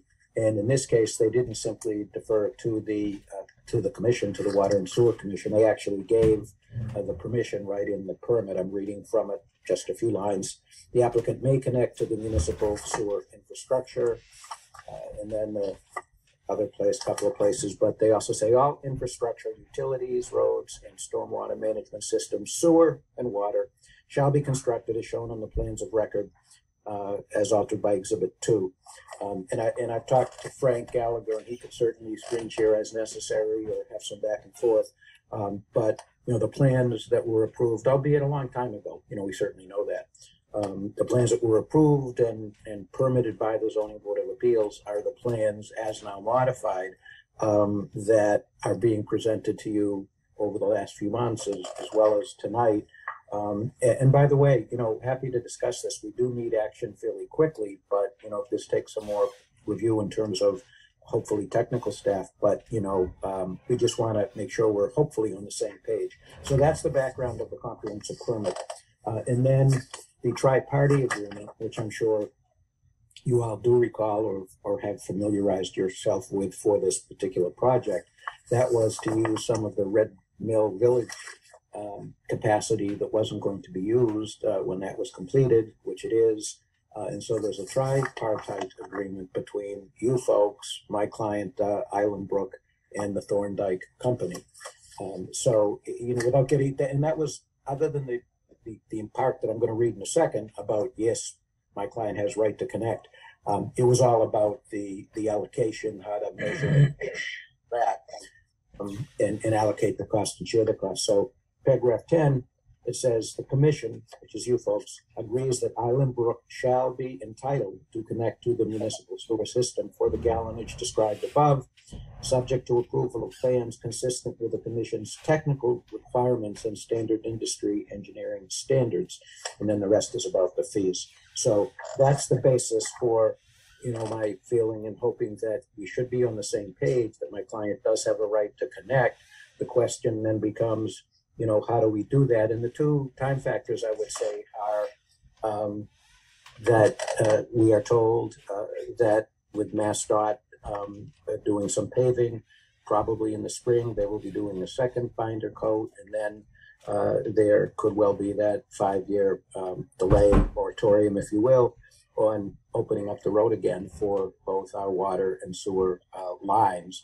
Uh, it's probably obvious, but we all along have expected, because I do think it's completely clear that the lines going up Route 123 to where we can connect, and I'll uh, turn it over to Frank Gallagher just briefly to explain that. They were always on the plans. That's what's approved. That's what the tri-party agreement's talking about. And yes, you know, the technical details, including possibly some stubbing for other homes, um, which again, I'll let Frank talk about that. Those are the things that certainly are on the table, but, but not the question of, gee, you know, you don't have any right to put the line up, uh, at, at our expense. We know it's at our expense, um, up Route 123. So I think that's basically the introduction that I wanted to give. And, and Frank, um, Frank Gallagher, if you can share the screen and just show uh, the lines in question. I, I will say one more thing. I think the most recent email from Frank Fournier to me and probably Frank Gallagher, you know, Gallagher did talk about, you know, going up at 123 and connecting to an interceptor that's further up. Um, and I think is is one of the um, Mansfield, Foxborough, um, Norton uh, um, manholes or places where it could connect. With that, I'll just uh, turn it over to Frank for a few minutes for these technical plans.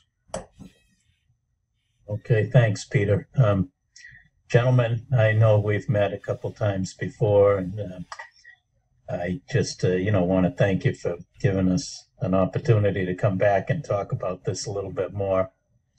Um, so I think, I hope that you all know what we had been planning. I know I presented it to you before, and thank you for the approval you gave us on the water connections.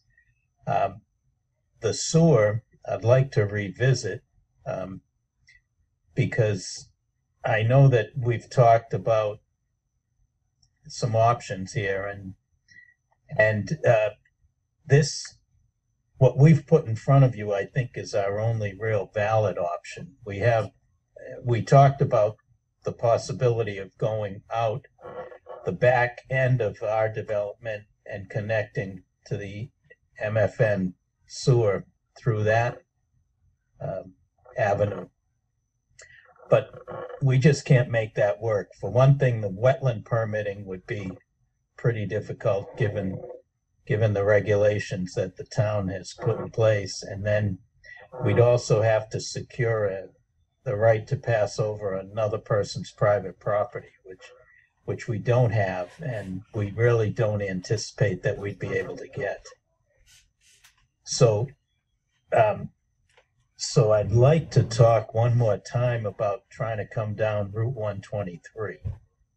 And, um, we, we have talked about it, and I think, uh, Frank Fournier has told us that, and I, you can correct me if I'm wrong, Frank, but if we are to, uh, supply services to some of the properties that we pass by that aren't ours, then at that point, I guess we could justify saying that it's, it's no longer a private sewer main and it's public.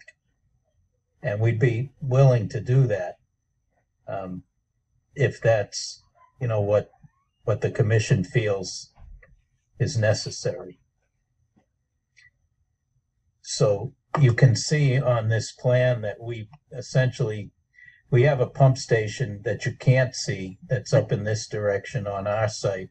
And then we run a force main from that pump station down and then we, we stay on our side of East Main Street all the way to where the interceptor line is, which is off the page in this direction.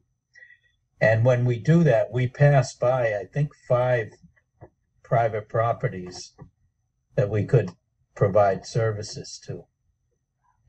Um, so that would be five more people that would be able to connect to sewer. Um, so I guess that's what we'd like to put forth and, and discuss with you. And Frank, just to be clear, I know it doesn't show on the plan and I don't know how many linear feet it goes up, but can you explain if, even if you can't show on the plan, where you have intended, I think all along, to connect to the Norton sewer? Yeah, let me just see. Um,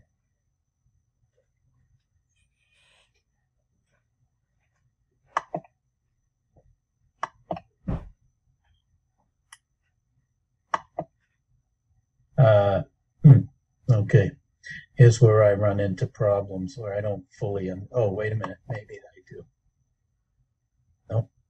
Um, yeah, sharing the screen, that's something that's kind of new to me, so I'm trying to work my way through that, but let me see if this is, Left, on the left taskbar, are those the subsequent sheets, Frank, if, if you click on oh, those? yes, oh, okay, yep. Okay, I see. Yep. You have all um, witnessed a miracle that I helped with something technical. So, yeah, this is continuing to run down um, East Main Street, and then this, this plan will show, no, it won't. This plan, I'm sorry, will show um, where we connect to, um, to the um, interceptor line. This this is the interceptor line. It runs in this direction. And we want it to connect right there at, at this uh, sewer manhole that's already in place. Is that a private manhole or is that, is that the one that's coming from North Cottage Looks like it Yes. is. that we spoke is. about? Yeah. But now I don't know whether or not that's private. It's, uh, you know, it's built right within the interceptor and it's, it's built right on that main. So I, I mean, I don't know. It would seem to me that it would be part of the system now, part of the public system. I could be wrong. I don't know. I can jump in here, guys. So originally, this was the first set of plans that you guys had showed uh, to the board pre-COVID. Um, the issue that we see here um, is twofold. One is connecting a second private line to an already existing private line. We do not have permission to give you access to that line. If that line is owned by North Cottage, um, maintained by North Cottage, and it does include that uh, existing sewer manhole that's there. The sewer manhole is something that the MFN requires. You cannot directly discharge a sewer line into the MFN interceptor. Uh, that's something that was installed per their regulations uh, and is offset from the, the actual connection to the pipe. Uh, so I know we had talked about this prior. If you've spoken with anybody um, at North Cottage uh, for gaining access to their sewer line, and secondly, if the MFN would allow um, somebody to connect to something that is not currently owned. That may be something that's completely out of their jurisdiction, but definitely something that we would need to see letters in writing that they're going to approve additional flow coming in at one connection point. Um, you know, all stuff that's outside of something that we have control over. Um, the additional private sewer running down the road is is a secondary concern, which is why I know at one of the meetings, you know, other options were were looked at. Uh, you know, you know, moving forward, obviously, you guys are eligible for the sewer, um, but we can't grant you access through somebody else's private line. Just a quick thought on that as to the uh, MFN and, and that uh, uh, North Cottage, uh, the village, whatever it is, but you know, possibly it being private. I, I'm not going to speak from the top of my head. I can check into that. It seems somewhat strange to me, as Frank, Frank uh, Gallagher inferred that you know if it's in the public way, there are certain public rights. But but that that's just speculation. So I appreciate you know your heads up, uh, Frank, on that. Um, as to the second comment, that's where I don't want it to be a disagreement, but I just cannot, I cannot agree. Um, you know, not only that, but you know, my client has paid his share as per that tri-party agreement for, I think it's five, six years now.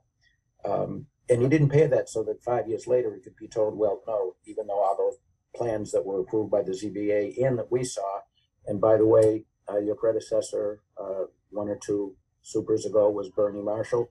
And he was at the hearings with the ZBA and went over the plans and made suggestions and agreed that, that agreed that those were the plans that, you know, would ultimately be the sewer plans to connect for this project. So I respectfully, but I can't agree at all legally or pragmatically or fairly. Mr. Freeman, if, if you don't Can I mind, finish? Could I just finish? Uh, it'll be brief. Just, just the fact is that all of the, uh, all of the evidence and the contracts and the hearing process says that, yeah, we can put the sewer in, uh, you know, in Route one twenty-three. And there's no indication in the record, anything about no private sewers. I don't even think that has any legal meaning. And, and again, we're here to work it out. And I, you know, if, if there's a loggerhead, I still hope we work it out, but I'm not, I'm not gonna, you know, um, I just want to be candid. And that's all I hope that we're all doing.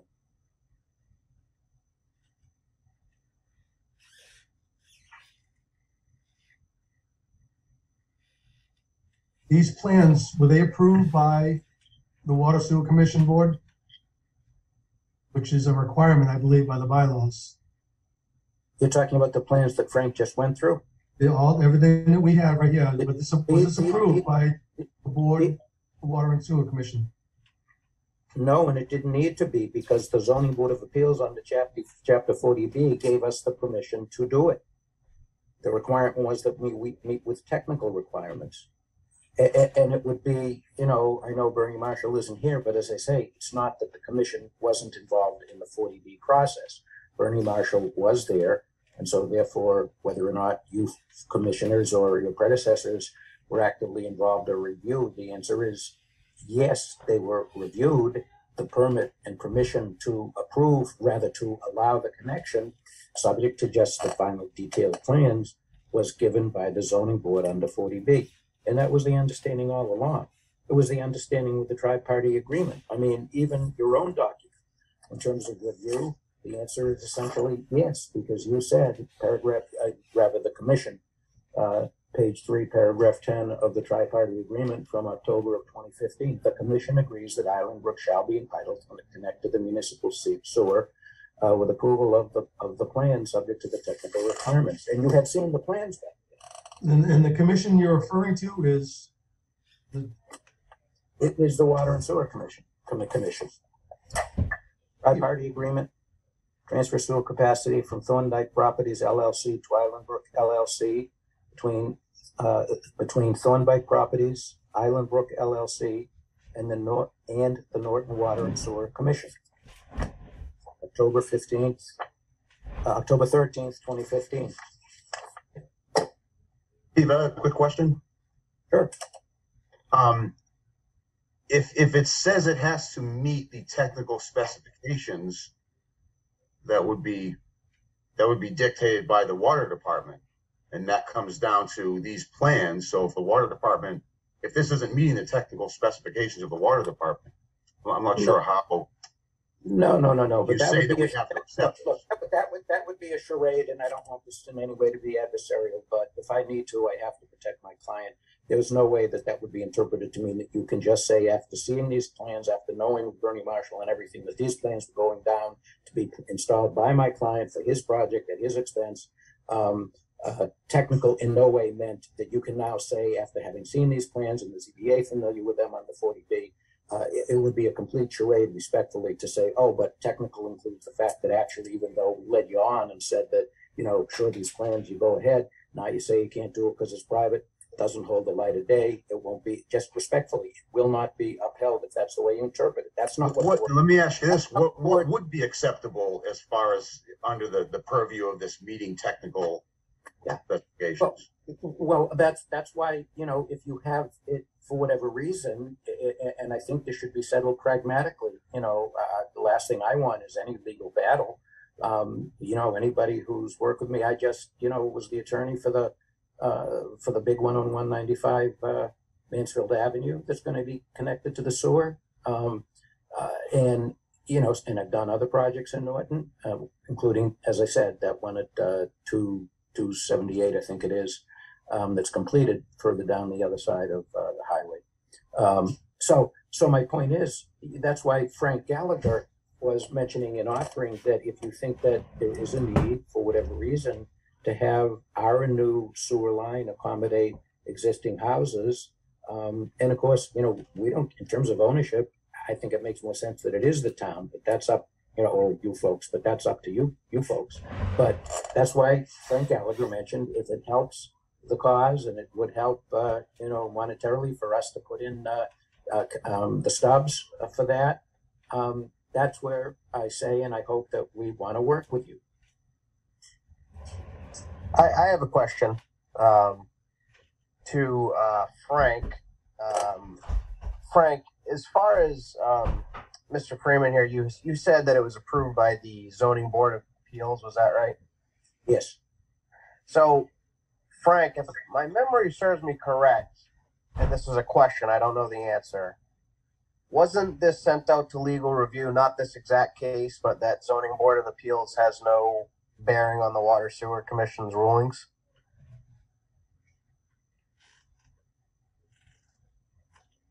Are you asking Frank there was Gallagher? some discussion about that, uh, previous.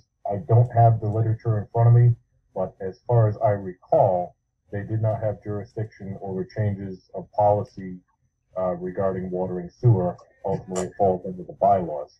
Uh, I'd have to dig up all of that information. I remember this is something that was talked about quite a while ago. Um, but again, we're not denying availability to sewer here. We cannot give permission, once again, to a private sewer main um, you know, that is owned and maintained by North Cottage. You know, if that was the agreement that was done back in the day, that's fine. Show us some documentation for it and we'll move on. Um, but a better solution for everybody would be to install a main that's going to transmit wastewater and connect your property to the MFN interceptor based on their requirements, not our requirements, because we don't own the MFN interceptor.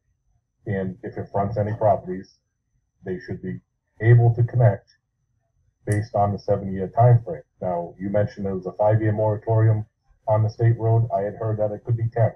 You know, I have seen nothing in writing either way, uh, but obviously, you know, either way, nobody's going to want to dig up that road, whether it's ten or fifteen years after it's completed, brand new pavement, sidewalks, lighting, and all that. okay. Yeah. I- If We're I may, You guys can make these connections. It's never been, you know, that it's been a target. You know, it's finding what's the best solution here. You're talking about a plan that's been in place since uh, 2013, maybe. I, I could be wrong with the date on that, but um, you know, we're looking to make connections, make everybody everybody happy here.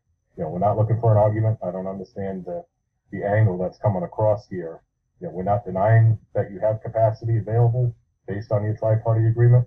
We're just questioning the means of getting it from point A to point B. And we can't allow permission to tie into an inferior sewer main that's not owned by the town. It's not a municipal main, which seems to be the, dis- the disconnect here.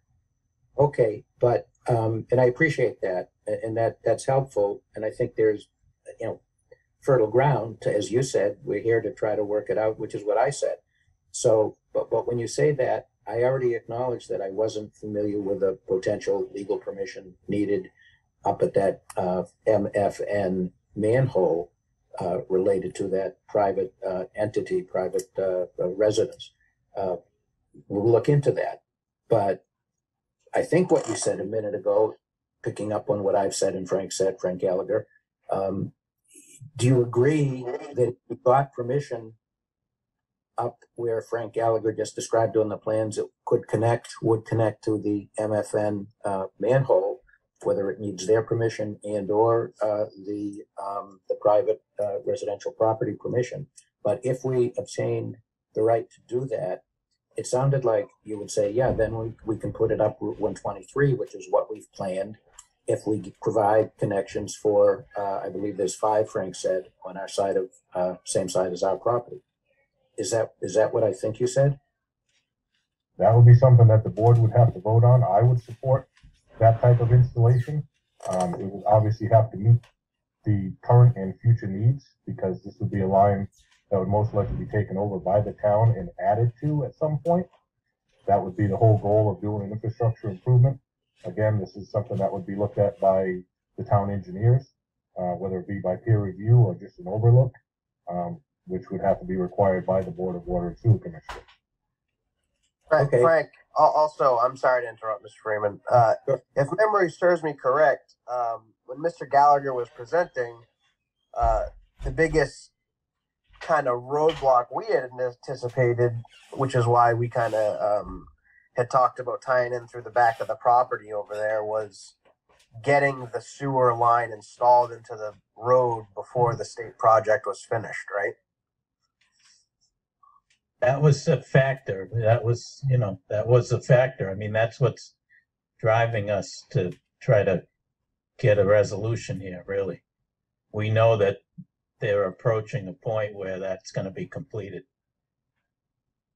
And, and, and Frank, either Frank really, but Frank, um, I mean, the water that's been worked out, the water lines, they're going, they have to go in before the, the, the paving too, right? Correct. So we think we can do that. You know, we know that that's our, our burden, but we, we think we can do that. Um, and, you know, if, again, being, you know, further technical review, uh, I'm not knowledgeable enough to say how much, um, detail Frank Gallagher has shown you, but, you know, if we can, you know, get agreement and, and have whatever's needed for Frank Gallagher to, to work on, um, and have it peer reviewed if you want, which I understand. I mean, that's not an issue. And just work out these kinds of technical details, um, then that's, that would be a go from our viewpoint with, with one caveat, which again, Frank Fournier, I appreciate, you know, all your details and forthright explanation. Um, when you say that it would, you know, have to take care of the, the present and future concerns, I mean, do you know the possible scope of, would that change? You know, I mean, again, I'm a layman, layperson, you know, the pipes are the pipes. A lot of the work is just the digging and putting it in and repaving. Um, are there other technical things that, that you think would be needed to accommodate future growth? That could be handled with, by our sewer engineers, uh, based on, uh, a peer review or, or a basic review of the plans, knowing what the future is gonna hold in this area. Um, there's minor room for growth here, other than obviously your project. Uh, we don't anticipate, or we haven't heard of any other projects similar to that, uh, coming down. Uh, we're kind of limited with the land and the wetlands that are here. Um, something that, uh, again, the, uh, the engineers would look at, determine if the size that you guys have, uh, you know, proposed here would work and, uh, what would be the best outcome for everybody, um, or if we had to increase the size to handle, you know, potential future growth for this particular area. Mhm. Um, you know, the biggest concern here is that the Board of Water and Sewer Commissioners, per their rules and regulations, have to and can only sign off on finalized plans. So I think that's what Steve Bishop was getting at earlier, has a previous board signed off on a set of plans, or have they only been proposed? Um, if we're talking about connections here that are gonna change, these plans will go away, which was, I believe, what we talked about at our first meeting, when the original set of plans were, were overlaid on the nineteen sixty-one plans and not on the current Mass DOT plans, which I believe you guys have corrected. But a change in the scope of work here, um, on the slide that you're showing, if MFN is gonna require a separate manhole to be installed, or is gonna have other, some other type of, uh, change to the plans, that would have to be presented to the board so that they would be able to sign off on a final, um, set of plans that will be held true. You know, they couldn't sign off on this set of plans now showing a connection to the currently privately owned manhole. And then two months down the road, there's a set of plans that changes. You know, that's the way that the regulations are in place, whether that's how they were back when this project started, whatever it was. Uh, but that's the way that they are, are now, and I believe they were in place that way back then, which is why Steve had asked about a signature. Yeah, no, I understand that, and, you know, I, I the- theoret, not theoretically, technically, if the rules were different back then, that's all on a forty B that we need to comply with, but that's not an issue. I'm not going there. The point is what you said is perfectly understandable. And of course, I have to talk with my client privately about everything, but, um, to me, it's logical and I understand, uh, both common sense, sensically never, never even mind those uh, rules and regulations, which because they're logical, make sense to me. Um, what I'm kind of, you know, I guess, um, kind of thinking out loud to suggest is understanding that, you know, there's work for Frank Gallagher to do, working closely with you, I hope, and, and your peer review and the, and the, I guess the actual, uh, town engineers you said, which of course is fine. Um, is there a way either tonight or meet again, but, you know, hopefully, hopefully tonight, for there to be a a vote from the commissioners of an agreement in principle that this is the route that we can take if we, you know, if we, um, uh, have them reviewed and are acceptable, uh, to, to the engineer and peer review. Um, and with the understood caveat that we would have to have whatever legal permission is needed for that FM, uh, MFN, um, situation and, uh, and that, um, North Cottage. And Muhammad, not, uh, sorry to interrupt myself, actually, before you folks answer, but I mean, Muhammad, if you want to talk privately, perhaps they let, let us take a, you know, short break and, you know, we could call each other, but, um, time is still is of the essence, but if it worked out that way, um, Frank and Muhammad, does that seem reasonable to you? Yeah. And if, again, Um, uh, it is. Uh, this is Mohammed Aitani. I'm with Stonebridge Homes and the developer of Island Brook. Uh, yeah, that's fine. Uh, there is a point that I would like to make to, to, to actually make to the commission. And I believe there's, there's, uh, the, the, ZBA in a 40B situation are the permitting authority for all the departments in the town. The, the departments in the town get to make um, uh, th- th- they're informed of the project. They sent their comments to ZBA, and ZBA is the only permitting authority in the town. So the, the technical review that the agreement referred to was only to make sure that the engineering work and the capacity of the pipe we're putting in the ground works and what kind of pipe it is. But it has nothing to do with the permit, with the permission to tie into the sewer system. So, so that's, that's basically, you know, what the, what the case is. But I, I would, you know, Peter, if, if we can talk and, and for a few minutes, if, if the commission, you know, will give us a couple of minutes, we can just, Sure, sure. Uh, we, that, um, you know, I, I was just gonna say that, um, you know, uh, what Mohammed said is right, but we've already been there. And I, I don't, I don't think in any way we need to go back that way, uh, because, um, the, the, the back and forth with Mr. Fournier and, and Frank and me seems to be, to have been productive. And I'm not, as I say, I'm not here to really, you know, hammer legalistics and all of that. Um, and uh, if it's okay with you, because I guess the question is on the table, um, you know, would you be okay with a a a kind of vote to uh, uh, to affirm what I just said, which means you still have everything that you need and want. Look at the plans, but it would be an agreement that yes, we can go this route that we've contemplated. So if, if it's okay, and I, I think, um, to start to also be like a lawyer, like a municipal lawyer. I mean, if we take a break from this item, I, I think you probably shouldn't talk about it until we come back. Um, you know, so if you, I think two minutes is probably fine if that's okay with you folks, and I certainly appreciate it.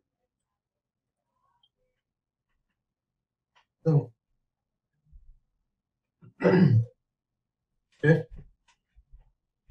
Is that, that, that's okay? So we'll, we'll come back in, in two minutes?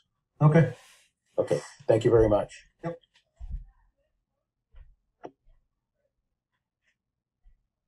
all right, uh, We, can- we, we can't talk about this for two minutes? no, we're not allowed to. Okay.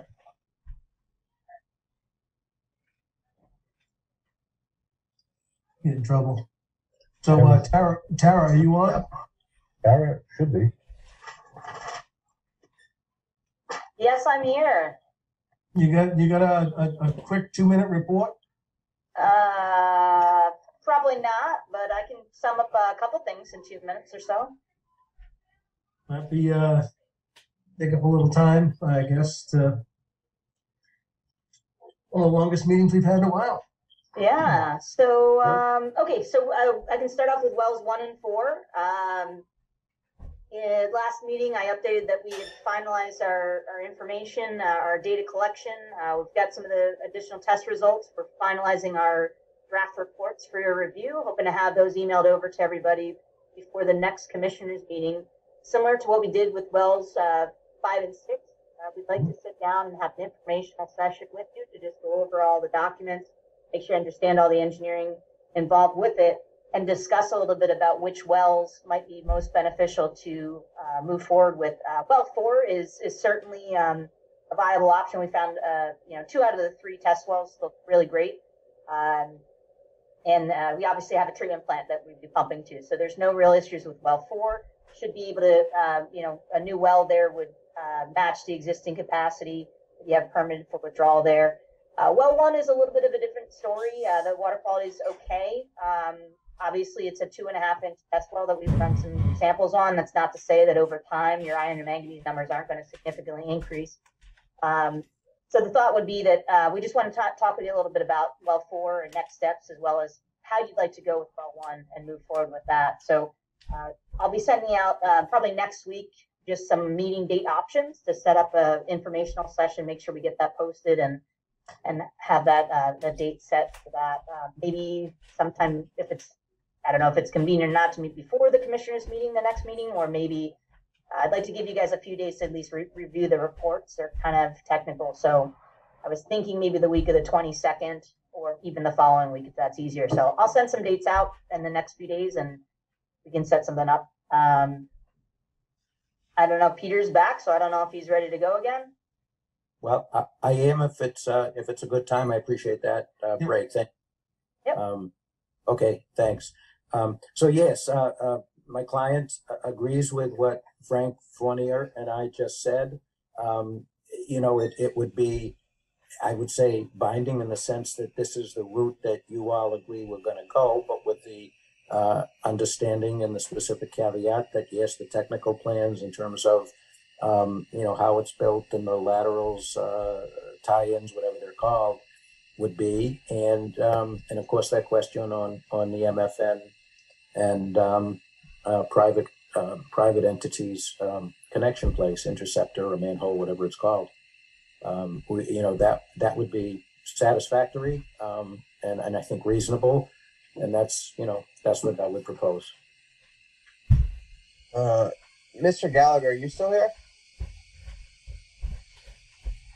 Frank, Frank, can you unmute yourself?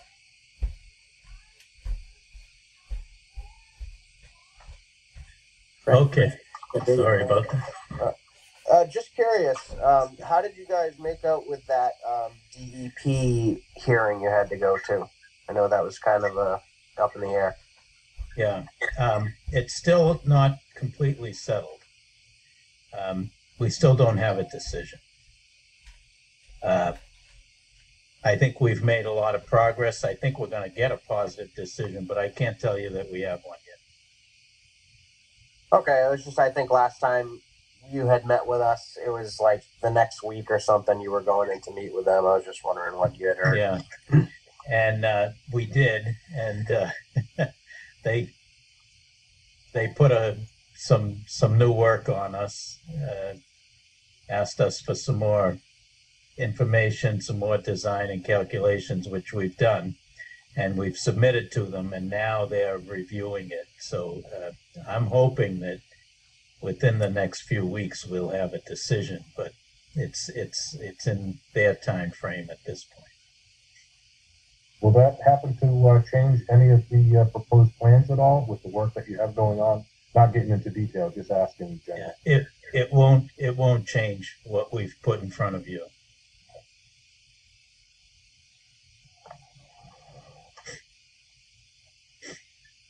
This is the final set of plans? Is that what I'm understanding? No, if, if, uh, both, both Franks, um, I think what Frank said is that he thinks more is needed. I believe that these have been changed to conform to the new actual road that either has been changed over the years or is, is in the process. Um, but I'll, I'll ask Frank Gallagher, you know, to agree or, or amplify as to how much more is needed. And again, we're, we'll, we'll work with Frank Fournier, but Frank Gallagher, can you, uh, amplify? Uh, so the question is, this set of plans that we've shown you of East Main Street, is, are you asking, is that the final set of plans that you're gonna see? Correct.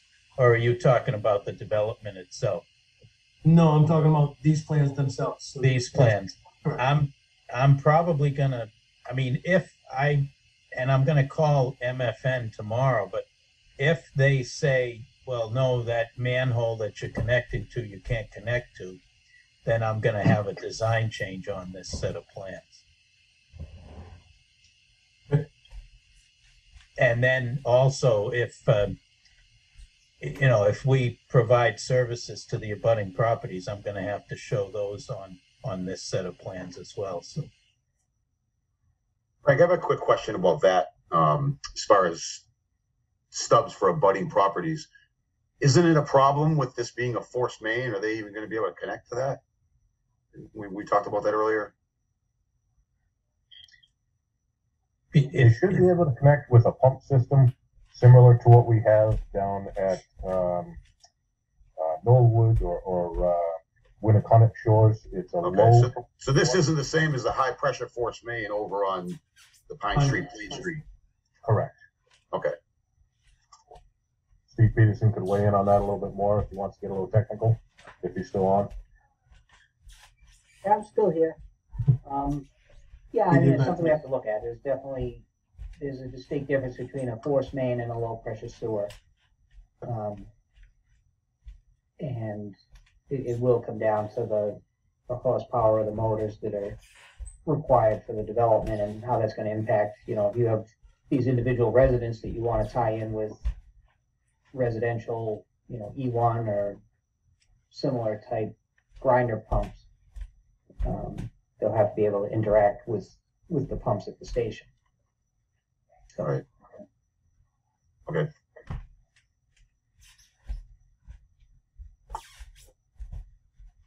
So, uh, Mr. Gallagher, maybe we could, um, uh, speaking just for me, uh, maybe we can agree to accept, uh, the new set of plans once you find out some more legwork with, uh, with, uh, the MF, certainly is a big, biggie. Um, and that manhole as well for North Cottage, that private manhole. Um, and then we can, uh, we can vote on that, that, that final set of plans. I'd be Mhm. comfortable with that if that's, if that works as well. Uh, Uh, Certainly, I, I, I understand we need to expedite and we'll, we'll, we'll do what we, you know, what we can, certainly make that happen. Um, And when, when is the next time that you meet? Uh, February twenty-second, I believe, is the next meeting. Is that correct, Frank? Okay, That's correct. okay. I, I, I, I- um, if I may, just real brief, I, I think that's essentially what I was looking for, you know, a few, a few minutes ago before the break. you know, that, yeah, you would agree that we should do, Frank Gallagher should do the final plans on this route, you know, subject to the MFN. And if that's what you're proposing to say yes to tonight, uh, we agree. And, uh, we know that, you know, the details will be coming and, you know, hopefully that won't be too big a deal, but it's engineering and reviewed and we all understand that. Is it possible, Mr. Gallagher, you could send me an electronic copy of these plans? I know the board had asked uh, to review the plans. We do have the hard copy set here that you provided to us. Um, Mhm. But unfortunately, as you can tell by the meeting, you know, we're, we're not able to join together and uh, review these plans. So it'd be something that uh, we could forward to the, to the uh, commissioners uh, to actually be able to, hopefully on their own time, look through some of the plans. I can definitely do that. I'll send them out first thing in the morning to you, Yeah, Frank. That'd be, that'd be great. Thanks, Thank you. Mr. Gallagher. Thank you. Okay. Okay, so that's the agreement then, I think, uh, and I think I'm very pleased and appreciate it, and, um, unless you folks have anything, that's what we'll work toward, that is what we will work towards with a big effort by Frank, not me, Frank Gallagher. So, um, unless there's anything else, thank you all very much. Thank you, Mr. Freeman. Thank you. Good night. Thanks, everyone. Appreciate it. Thank you. Good night, guys. Thank you. Thank you, Mr. Itani. All right, um, Tara, you still with us? I am, All right, um, you want to finish up your, uh, your update? sure. Mr. Goetz? Thank you. Tempted to turn my camera on, but for some reason it's not coming on, but that's all That's right. Pretty, pretty blue, green and Hmm. I I got a good background. All right, so I, I kind of finished up a little bit on the wells one and four. Um, so just a real quick recap. We'll be sending the documents to you guys by the end of next week, hopefully, uh, and if nothing else, by the uh, the 22nd, the next meeting date. And then shortly thereafter, we'll attempt to set up a uh, an informational sense, um, meeting. Probably, if it, if it's okay to meet in person, we'll we'll do it in person. If it's not, still at that time, we'll do a virtual. Uh, but just so that we can kind of go through all the details that we found. Um, and as Frank's kind of already covered uh, the well three information, but I'll just do a quick recap on that. There was uh, 220 linear feet of ductile iron pipe, 12 inch ductile iron pipe installed to um, work on that four log uh, pipeline approval process. We submitted the application to DEP for the final certification that it was installed and properly disinfected and constructed on uh, last Friday. And uh, DEP is going to be on site on Thursday to inspect well three as well as well 5A. Um, so that that was working out pretty well. Um, 5A, as Frank already up, updated, the electrician is going to hopefully finalize everything tomorrow. And if all goes well, the, be able to start um, pumping the waste and, and take a bacteria sample.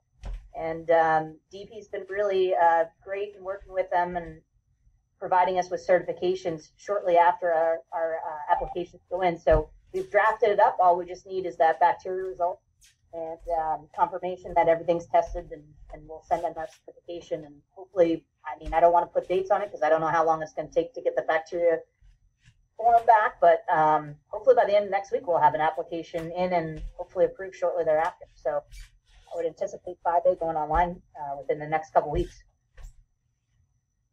Great. That kind of gets us into uh, wells five and six. We had the bid opening. We already talked about that at the last meeting. Uh, as an update, we went through our references and went through the documents that they that the contractor provided. It was dangerous. Uh, we had no concerns with their references. There was one small hiccup on their bid bond. Uh, however, uh, they have indicated that for the contracts, they will be providing performance and payment bonds with an A rating or better. Uh, it's just a formality, but we do require uh, no nothing less than A minus, A minus or less on on any bonds. So just wanted to work out with them in advance that they could, in fact, their surety could in fact provide a a rating bond. So that's good to go. Uh, we have provided documentation to Frank via email, along with a recommendation to award. Uh, I think the board for this project, um, we had talked about it before, but the um, the thought is to basically give Frank approval to issue the intent to award letter. And I believe in the past we have had the commission vote on that. So um, just to be clear, the uh, low bidder was Dankris Builders Corporation. The total of their bid was five hundred ninety-eight thousand six hundred dollars. And we are, Weston Sampson is recommending award of the contract to Dankris. And we're recommending that the board vote to allow Frank to sign off on an intent to award letter. Okay. Jim? Okay, this is, um, I just want to give the name of the company correct. Dankeris, you said? Dankris, D A N K R I S, Builders Corp. Dankris Builders Corp. Okay.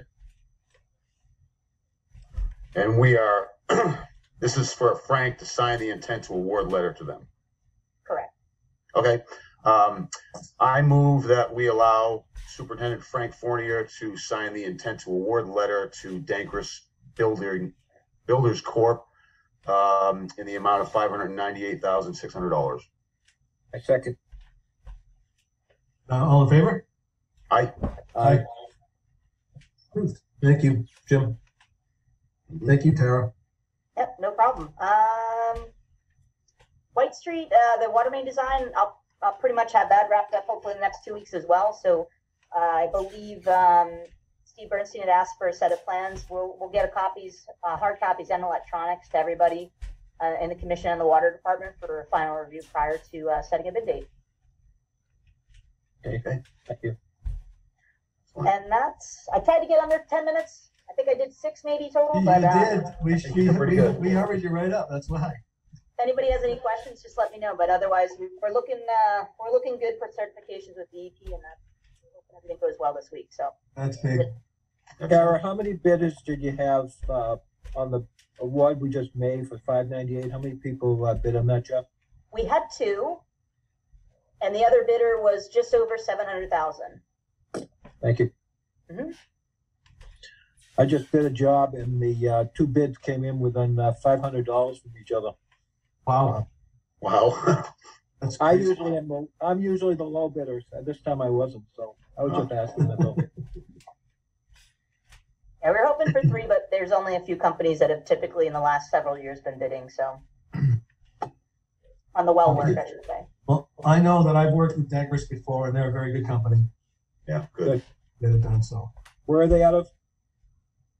Uh, they're, Uh, uh, technically, Plainville? um, Am I out of Plainville? I think Plainville, isn't it? Yeah. I believe so. Yep, Plainville. Thank you. All right, uh, so we already got our next meeting, which is February twenty-second. Uh, does anyone else have anything, uh, old business or new business? No. Or, I have a question about the filter program. Sure. So, um, I wanna, I've been, uh, catching up on, uh, looking at our website and looking at our regulations and look, that's why I've asked all these questions over the last couple of days. Frank, on the filter program, how many people have taken advantage of that rebate? I believe we probably are somewhere around three or four. Three or four, okay.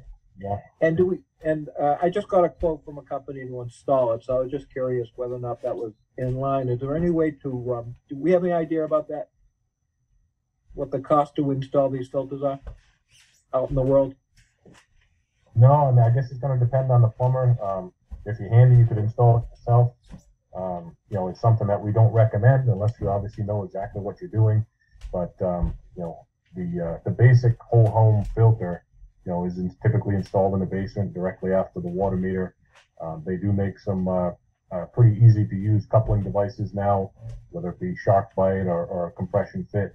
So, uh, it is definitely getting to be something that the average homeowner can do. Um, whether they want to take on that responsibility themselves is completely up to themselves.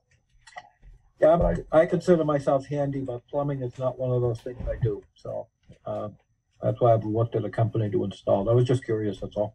Thank you. Yeah, there- there was, like I said, there's probably, you know, three, four, maybe five people. Um, I've had quite a bit of questions on it, uh, going back and forth through email, asking about, uh, filters that we would recommend, which is not something we will do. Um, each person has their own, um, I guess, solution that they're looking for based on a filter. Um, we have differences in diff- depending on where you're located in town. A few people have called, indicated that they, uh, they smell chlorine, which is what we use for disinfectant you know, where a simple GAC filter, like what's commonly found in a refrigerator, would work. Um, and other people that deal with, uh, you know, sediment or uh, or light yellow color or an orange color. And uh, we've actually uh, made it a point to get into a few of these homes that have had um, problems in the past, and you know, knock on wood, the system out in front of their home has actually been very clean. And we've gone numerous times to different places, sometimes repeat locations, showed them water samples from water taken from a hydrant after turning it on and compared it to what people see in their home. Um, a couple of these locations, it was uh, found after spending a little bit of time inside the home that a portion of their water service was still an existing old service, an iron service, um, where the you know the lead gooseneck was removed out in the street. It was upgraded as part of our water main going by and, and having um, shown a connection to copper, but somewhere along the line there was a change somewhere in the front lawn or in the driveway, um, and the old pipe was left in place, which is what has been you know a problem for a few of these locations. Not every one, but you know, we've definitely dealt with it being an older town that we see some of those things. And, uh, you know, again, we're not going to recommend a specific filter because everybody's needs are a little bit different.